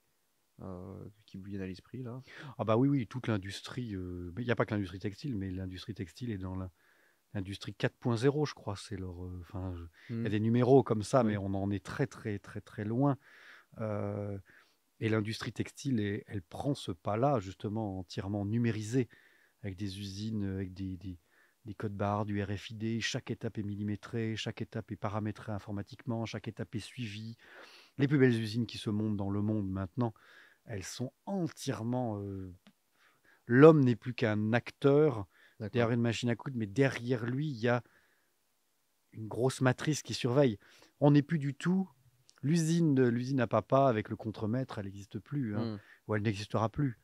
La vraie usine 4.0, justement, c'est on découpe numérique, euh, on monte pas numérique parce qu'il faut bien des hommes derrière les machines à coudre, mais tout est paramétré, tout est suivi. Et justement, la révolution du, des usines qui se transforment en qui font du custom made, mmh. que ce soit de la chemise ou du costume fabriqué à la demande, à la mesure, donc personnalisé, ça, elles sont obligées d'être dans ce, numérique absolu. C'est-à-dire parce que le costume, si vous le choisissez avec des poches comme ça, il faut pas que l'ouvrière au, point de, au point ad hoc fasse d'autres poches. Donc tout ça est, doit, doit, être décrit dans des fiches qui tombent sur chaque poste pour chaque vêtement. Parce que quand vous fabriquez un vêtement unitaire, il faut qu'à chaque poste, il soit différent. Donc la personne interagisse avec ce vêtement de manière différente. Quand vous lancez une série de 2, 3, 4 000 pièces, 10 000 pièces, 100 000 pièces, quand il est toujours pareil, l'ouvrière a fait toujours la même chose. Mais là, quand vous commandez votre costume et que la doublure est, différente et la poche, il faut que l'ouvrière elle ait l'information. Donc, et pour chaque ouvrière, pour les 300 ouvrières qui vont intervenir sur cet objet-là, donc il y a donc il y a une matrice informatique qui est délirante derrière. Et puis il faut surveiller le timing, et puis il faut, il faut, et puis faut dire au client final, bah, votre chemise elle est en cours de production, elle est coupée, elle est en montage, elle est au magasin, elle est prête à partir. Donc en fait, cette usine-là, euh, elle est l'usine du 21e siècle, comme l'usine qui fabrique les, les, les, cuisines dont on parlait ou les voitures. Tout ça est entièrement informatisé maintenant. D'accord. Et donc là, oui, il y, a une, il y a une révolution. L'autre révolution étant dans la maille, le tricot, les machines qui tricotent entièrement le pull sans aucune intervention humaine. Parce qu'avant, un pull, il fallait au moins le coudre le buste et il fallait faire les manches à la main. Mmh. Maintenant, les plus belles machines qui valent 2 à 300 000 euros, elles font tout de A à Z. Et c'est le, le, futur du, le futur du vêtement, parce que s'il n'y a plus personne pour coudre, faudra bien des machines pour savoir faire de A à Z. Et sur le textile en, lui-même, il y a des, des innovations là-dessus et des évolutions euh Ah bah dans, bah dans le textile, euh, bah là moi je parlais de la fabrication. Donc je parlais de la fabrication du produit non, final. Du processus. Ouais, ouais. Mais euh, le produit en lui-même. Ah le produit en lui-même, bah oui le produit en lui-même, oui. Pas du côté tailleur, pas du côté du, enfin du côté du lainage aussi parce qu'on fait qu'on fait des, des, lainages beaucoup plus fins de nos jours qu'il y a 30 ans. Mmh. Mais l'innovation, elle vient des nouvelles matières, des nouvelles matières techniques. Elle vient aussi des méthodes de montage. Maintenant, il y a beaucoup d'usines où on ne, ne, coupe plus, on colle. Combien vous maintenant vous trouvez des maillots de bain, vous trouvez des, des, vêtements, des manteaux, c'est collé, hein. c'est sous des lasers. Donc là, il y a c'est l'abandon de la machine à coudre et du, et, du fil en fait. Hein. Donc euh, euh, il y a des marques comme Hurley qui sont très, enfin une marque californienne très connue, mais Arcteryx, euh, voilà, les pièces sont collées, plus plus plus cousues. Donc oui, oui, il y a des révolutions incroyables dans, la fabrication du textile aussi, les nouvelles matières, euh, des matières respirantes, thermorégulatrices, euh, probablement pas biodégradables, alors que la laine, le lin et le coton sont biodégradables, mais les nouvelles matières. C'est-à-dire que l'innovation qui est intéressante d'un côté, elle n'est pas bonne pour la planète peut-être de l'autre. Hein. C'est délicat. Et euh, dans un, si, on commence à arriver à ce genre de schéma où on pourrait imaginer que dans les costumes sur mesure qui se font automatiquement, euh, les derniers tailleurs, ils, servent à quoi là-dedans? Qu'est-ce qui fera qu'on continuera plutôt à aller les voir eux plutôt que de passer par les machines? Non, non. Bah, les machines, comme je dis, c'est dans une, dans une usine de costumes, les machines sont les mêmes qu'il y a 100 ans, en gros. Des machines à coudre plates. Bon, il y a des machines un peu spécialisées qui font les poches, etc. Mais globalement, il n'y a pas eu une révolution énorme. Et derrière chaque machine, il y a toujours un être humain. Pour fabriquer ce genre de choses, dont je parlais tout à l'heure du tour de main, mmh. Pour fabriquer ce genre de choses, il faut des hommes. il faut des hommes derrière les machines.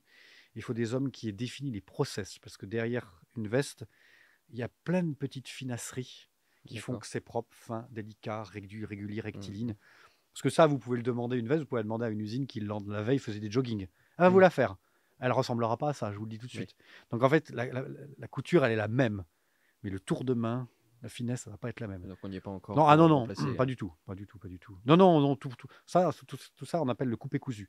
-dire on coupe du tissu et il faut le coudre. Là, la, la, mise en machine, elle est, elle est zéro.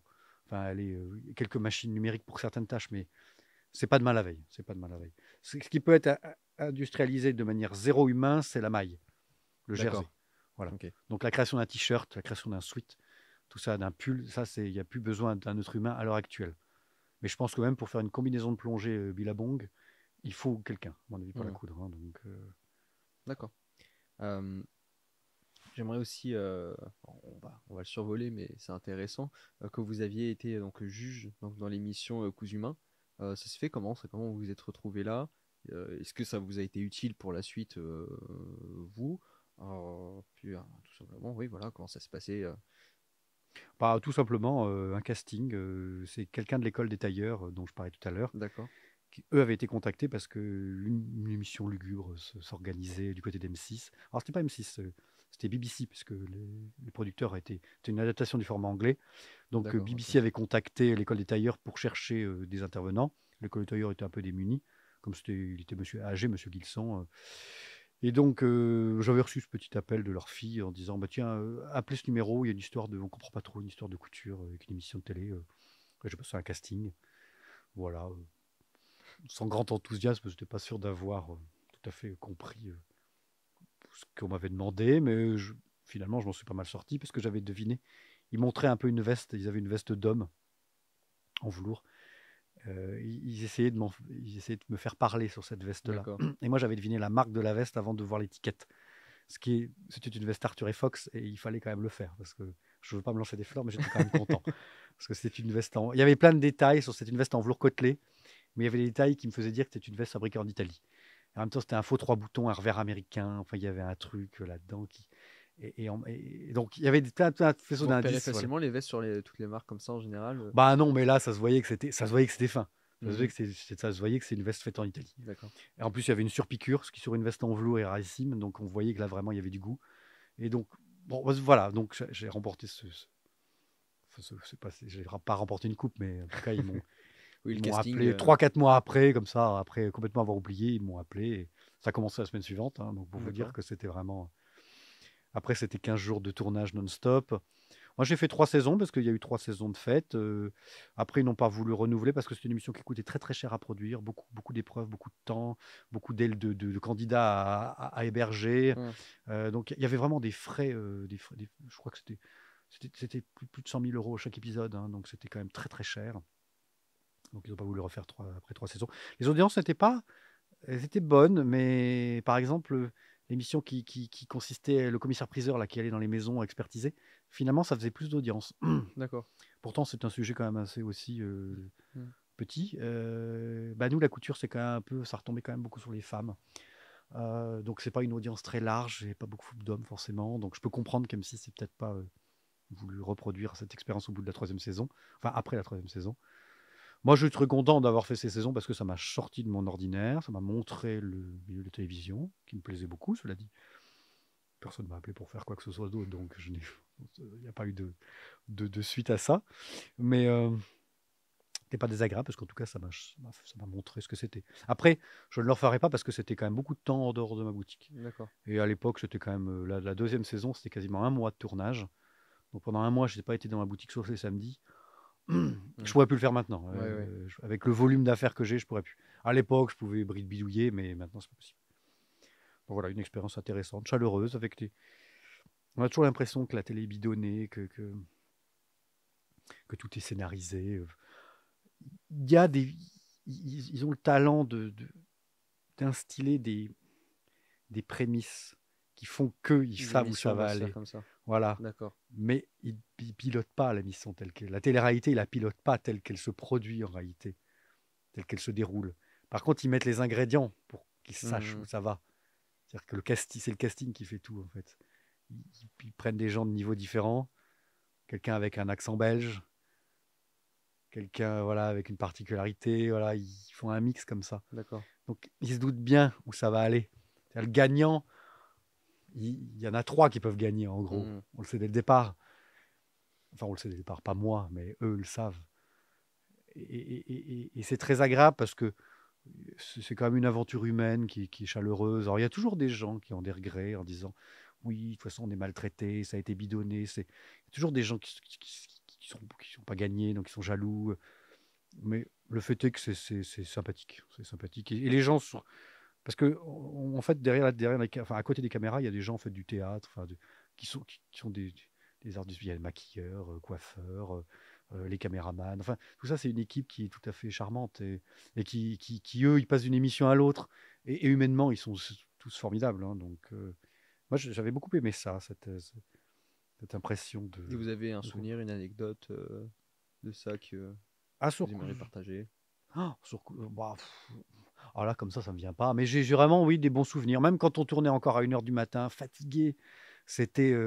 non, c'est des, des, bons souvenirs parce que. c'est pas regardez je m'en fous un peu je les ai toutes vues hein. Mmh. mais c'était pas de me voir qui me passionnait mais de, l'avoir fait c'était très sympa d'accord et je pense que les candidats se, se, se démenaient hein. alors c'est pas facile parce qu'eux ne sont pas rémunérés, ils viennent là pour faire le show. Euh, on leur en demande beaucoup, la production les fait un peu pleurer. On ne les fait pas pleurer, on n'est pas là à leur mettre des oignons sous les yeux, mais on les met dans des conditions de tournage.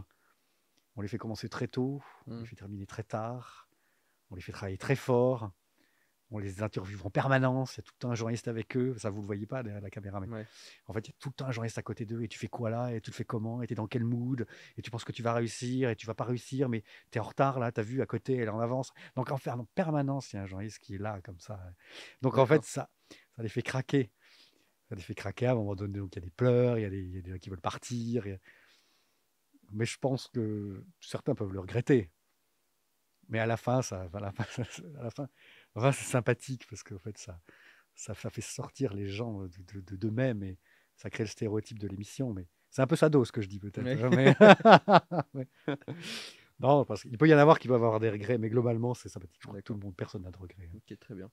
Euh, termine toujours l'émission euh, par euh, des ouvrages que vous aimeriez conseiller des gens que, qui vous ont. Alors, ça peut être purement technique ou même des passions que vous avez en dehors euh, du, tailleur ou ce genre de choses. Hein, vraiment, c'est vous qui voyez. Ah, alors là, oh bah oui, je suis pas très, euh, je suis un petit lecteur. J'essaie de me rattraper, hein, mais euh, il faut du temps pour ça. Des ouvrages à lire.